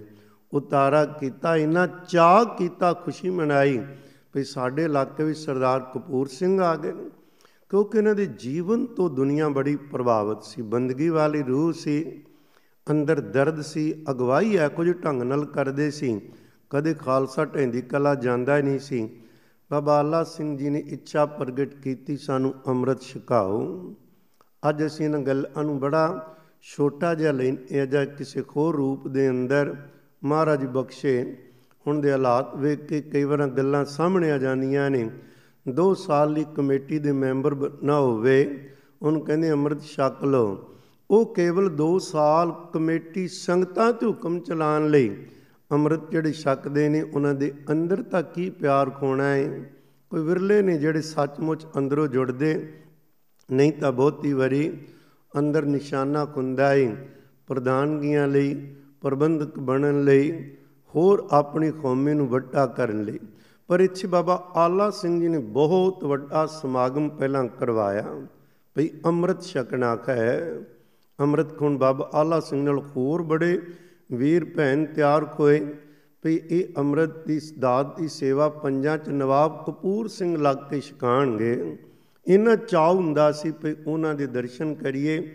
ਉਹਨਾਂ ਦੇ ਕੋਲੋਂ ਅੰਮ੍ਰਿਤ ਛਕੀ ਇੱਕ ਨਵੀਂ ਰੂਹ ਫੂਕੀ ਜਾਏਗੀ। ਬਹੁਤ ਵੱਡੇ ਸਮਾਗਮ ਰਚੇ ਗਏ। ਨਵਾਬ ਕਪੂਰ ਸਿੰਘ ਜੀ ਦੀ ਇਸ ਜਦੋਂ ਰਾਹੀਂ ਦਾਤ ਮਿਲੀ, ਉਹਨਾਂ ਦੇ ਪਿਆਰ ਵਿੱਚ ਇੱਕ ਖੂਹ ਲਵਾਇਆ। ਬਹੁਤ ਜ਼ਿਆਦਾ ਸਮਾਗਮ ਰਚੇ ਗਏ ਦਾਨ ਪੁੰਨ ਬੜਾ ਕੀਤਾ ਗਿਆ। ਸਾਨੂੰ ਇਥੋਂ ਪਤਾ ਲੱਗਦਾ ਹੈ ਨਾ, ਸਾਡੇ ਬਜ਼ੁਰਗ ਅੰਮ੍ਰਿਤ ਦੀ ਦਾਤ ਨੂੰ ਕਿੱਡਾ ਵੱਡਾ ਸਮਝ ਕੇ ਪ੍ਰਵਾਨ ਕਰਦੇ ਸੀ। ਕਈ ਵਾਰ ਹੁਣ ਅਸੀਂ ਬਹੁਤ ਇਹਨੂੰ ਛੋਟੀ ਚੀਜ਼ ਬਣਾ ਲਿਆ ਸਾਨੂੰ ਲੱਗਦਾ ਹੁੰਦਾ ਜਿਵੇਂ ਭਈ ਇਹ ਸਾਡੀ ਮਰਜ਼ੀ ਹੈ ਜੇ ਲੋੜ ਪਈ ਛਕ ਲਾਂਗੇ ਨਹੀਂ ਤੇ ਨਾ ਸਹੀ। ਸਾਨੂੰ ਅੰਮ੍ਰਿਤ ਦੀ ਕੀਮਤ ਦਾ ਨਹੀਂ ਪਤਾ। ਜਿਸ ਕਰਕੇ ਅਸੀਂ ਬਹੁਤੀ ਵਾਰੀ ਇਹਨਾਂ ਚੀਜ਼ਾਂ ਤੋਂ ਬਹੁਤ ਛੋਟੀ ਸਮਝ ਕੇ ਦੂਰ ਰਹਿੰਦੇ ਆ ਬਾਬਾ ਆਲਾ ਸਿੰਘ ਜੀ ਕਹਿਣ ਲੱਗੇ, ਜਦੋਂ ਕੁਝ ਮਹੀਨੇ ਇਹਦਾ ਅੰਮ੍ਰਿਤ ਸੰਚਾਰ ਹੋਈ ਸਿੱਖੀ ਦਾ ਫੈਲਾਓ ਸੀ ਹੋਇਆ, ਤਾਂ ਉਹ ਕਹਿਣ ਲੱਗੇ ਹੁਣ ਸਾਡੇ ਅੰਦਰ ਖਰਮੰਦਰ ਸਾਹਿਬ ਦੀ ਬਹੁਤ ਇੱਛਾ ਹੈ, ਤੀਬਰ ਅਸੀਂ ਦਰਸ਼ਨ ਕਰਨਾ ਚਾਹੁੰਦੇ ਹਾਂ, ਇਸ ਲਈ ਸਾਨੂੰ ਆਗਿਆ ਦਿਓ। ਬਾਬਾ ਆਲਾ ਸਿੰਘ ਜੀ ਕਹਿਣ ਲੱਗੇ, ਨਹੀਂ, ਜਾਂਦੇ ਜਾਂਦੇ ਇੱਕ ਕੰਮ ਕਰ ਜਾਓ। ਕਿਉਂਕਿ ਬਹੁਤ ਸਾਰੇ ਇਲਾਕੇ ਜਿਹੜੇ ਬਾਬਾ ਆਲਾ ਸਿੰਘ ਤੋਂ ਮੁਗਲਾਂ ਨੇ ਖੋਏ ਸੀ, ਉਹ ਸਾਰੇ ਵਾਪਸ ਦਵਾਏ। ਕਹਿਣ ਲੱਗੇ, ਸਰਹੰਦ ਦਾ ਹਾਕਮ ਬਹੁਤ ਤੰਗ ਕਰਦਾ ਹੈ। ਜਾਂਦੇ ਜਾਂਦੇ ਸਰਹੰਦ ਵੀ ਫਤਿਹ ਕਰਕੇ ਦੇ ਜਾਓ। ਤੁਹਾਡੀ ਤਾਕਤ ਤੋਂ ਬਗੈਰ ਇਹ ਫਤਿਹ ਨਹੀਂ ਖੋਣਾ। ਕਿਉਂਕਿ ਸਰਹੰਦ ਉਦੋਂ ਲਾਹੌਰ ਤੇ ਦਿੱਲੀ ਨਾਲੋਂ ਸੋਹਣਾ ਤੇ ਵੱਡਾ ਸ਼ਹਿਰ ਸੀਗਾ। ਅਕਬਰ ਕਦੇ ਇੱਥੇ ਆ ਕੇ ਰਿਹਾ ਕਰਦਾ ਸੀ। ਹੁਣ ਇਹਨੂੰ ਫਤਿਹ ਕਰਨਾ, ਪਹਿਲਾਂ ਬਾਬਾ ਬੰਦਾ ਸਿੰਘ ਬਹਾਦਰ ਨੇ ਸਰਹੰਦ ਦੀ ਇੱਟ ਨਾਲ ਇੱਟ ਖੜਕਾਈ ਸੀ। ਹੁਣ ਜਦੋਂ ਨਵਾਬ ਕਪੂਰ ਸਿੰਘ ਜੀ ਨੂੰ ਕਿਹਾ ਤੇ ਇਧਰ ਸਰਹੰਦ ਫਤਿਹ ਕਰਨੀ, ਹਰ ਸਿੱਖ ਦੇ ਅੰਦਰ ਇੱਕ ਨਵਾਂ ਰੋਹ ਸੀ। ਇਹੋ ਜਿਹੇ ਢੰਗ ਨਾਲ ਕਮਲਾ ਕੀਤਾ, ਉਹਨਾਂ ਨੇ ਵੀ ਅੱਗੋਂ ਬੜੇ ਦਲੇਰੀ ਨਾਲ ਅੱਗੋਂ ਜਵਾਬ ਦਿੱਤੇ, ਪਰ ਖਾਲਸੇ ਦੇ ਸਾਹਮਣੇ ਅੜ ਨਾ ਸਕੇ। ਸਰਹੰਦ ਫਤਿਹ ਕਰਕੇ ਉਹਨੂੰ ਬਾਬਾ ਆਲਾ ਸਿੰਘ ਜੀ ਦੇ ਕਬਜ਼ੇ ਵਿੱਚ ਲਿਆ ਕੇ ਸਰਦਾਰ ਕਪੂਰ ਸਿੰਘ ਸਾਹਿਬ ਜੀ ਅੰਮ੍ਰਿਤਸਰ ਵੱਲ ਤੁਰਦੇ ਨੇ। ਪਰ ਅੰਮ੍ਰਿਤਸਰ ਵੱਲ ਤੁਰਨਾ ਸ੍ਰੀ ਅੰਮ੍ਰਿਤਸਰ ਲਈ ਅਤੇ ਉਧਰੋਂ ਜ਼ਾਲਮ ਜਿਹੜੇ ਖਾਨ ਉਹ ਜ਼ੁਲਮ ਹੋਰ ਵਧਾ ਰਹੇ ਨੇ। ਕੌਮ ਨੂੰ ਵੀ ਬਚਾਣਾ ਹੈ। ਹਰਮੰਦਰ ਸਾਹਿਬ ਵੱਲ ਦੁਸ਼ਮਨਾਂ ਦੀ ਨਿਗਾਹ ਕਿਵੇਂ ਬਣਦੀ ਏ? ਆਪਾਂ ਅਗਲੇ ਖੀਸੇ ਵਿੱਚ ਇਹਦੀ ਵਿਚਾਰ ਕਰਦੇ ਹਾਂ ਆਪਣੇ ਦਿਲ ਦੇ ਅੰਦਰ ਮਹਾਰਾਜ ਲਈ ਪਿਆਰ ਸਿੱਖੀ ਲਈ ਤੇ ਬਜ਼ੁਰਗਾਂ ਲਈ ਦਰਦ ਰੱਖ ਕੇ ਇਸ ਘਟਨਾ ਨੂੰ ਗੁਰੂ ਕੇ ਪਿਆਰਿਓ ਸਾਂਭਣਾ ਤੇ ਫਿਰ ਅਗਲੇ ਖੀਸੇ ਵਿੱਚ ਆਪਾਂ ਦਰਸ਼ਨ ਕਰਾਂਗੇ ਸਰਦਾਰ ਕਪੂਰ ਸਿੰਘ ਸਾਹਿਬ। ਕੌਮ ਦੀ ਅਗਵਾਈ ਜਦੋਂ ਕਰਦੇ ਨੇ ਤੇ ਕਿਸ ਤਰ੍ਹਾਂ ਇਹ ਅਗਵਾਈ ਦਾ ਕੌਮ ਨੂੰ ਤੇ ਪੰਚ ਨੂੰ ਲਾਭ ਹੁੰਦਾ ਹੈ ਹੁਣ ਲਈ ਇਹ ਚੀਜ਼ ਗੱਲ ਨੂੰ ਆਪਾਂ ਰੋਕਦੇ ਆਂ। ਇਸ ਲੜੀ ਨੂੰ ਫਿਰ ਅੱਗੇ ਹਿੱਸੇ ਵਿੱਚ ਆਪਾਂ ਤੋਰਾਂਗੇ। ਮੇਰੀਆਂ ਭੁੱਲਾਂ ਦੀ ਖਿਮਾ ਕਰਨੀ ਅਤੇ ਇਹਨਾਂ ਮਹਾਨ ਪੁਰਖਾਂ ਜਿਨ੍ਹਾਂ ਦੇ ਨੇ ਕੁਰਬਾਨੀਆਂ ਕੀਤੀਆਂ, ਉਹਨਾਂ ਦੇ ਚਰਨਾਂ ਦਾ ਧਿਆਨ ਧਰੀਏ ਤੇ ਉਹਨਾਂ ਤੋਂ ਵਾਰ ਨੇ ਬਲਹਾਰ ਨੇ ਜਾਈਏ ਤੇ ਆਖੀਏ, ਜੀ ਬਾਰ ਨੇ ਬਲਹਾਰ ਨੇ, ਲਖ ਬਰੀਆ ਬਾਰ ਨੇ ਬਲਹਾਰ ਨੇ, ਲਖ ਬਰੀਆ ਸਦਕੇ ਜਾਈਏ ਐਖੋ ਜੇ ਗੁਰਸਿੱਖਾਂ ਤੇ ਖਾਲਸੇ ਤੋਂ ਤੇ ਪੰਥ ਦੇ ਆਗੂਆਂ ਤੋਂ, ਜਿਨ੍ਹਾਂ ਦੇ ਅੰਦਰ ਸਿੱਖੇ ਲਈ ਕੁੱਟ-ਕੁੱਟ ਕੇ ਪਿਆਰ ਕੌਮ ਤੇ ਪੰਥ ਦੀ ਸੇਵਾ ਆਧਾਰ ਬਣ ਕੇ ਰਹਿ, ਇਸ ਲੜੀ ਨੂੰ ਤੋਰਾਂਗੇ, ਯਾਦ ਰੱਖਣਾ। ਫਤਿਹ ਬੁਲਾਓ, ਪਿਆਰ ਨਾਲ ਆਖੋ ਜੀ, ਵਾਹਿਗੁਰੂ ਜੀ ਕਾ ਖਾਲਸਾ, ਵਾਹਿਗੁਰੂ ਜੀ ਕੀ ਫਤਿਹ।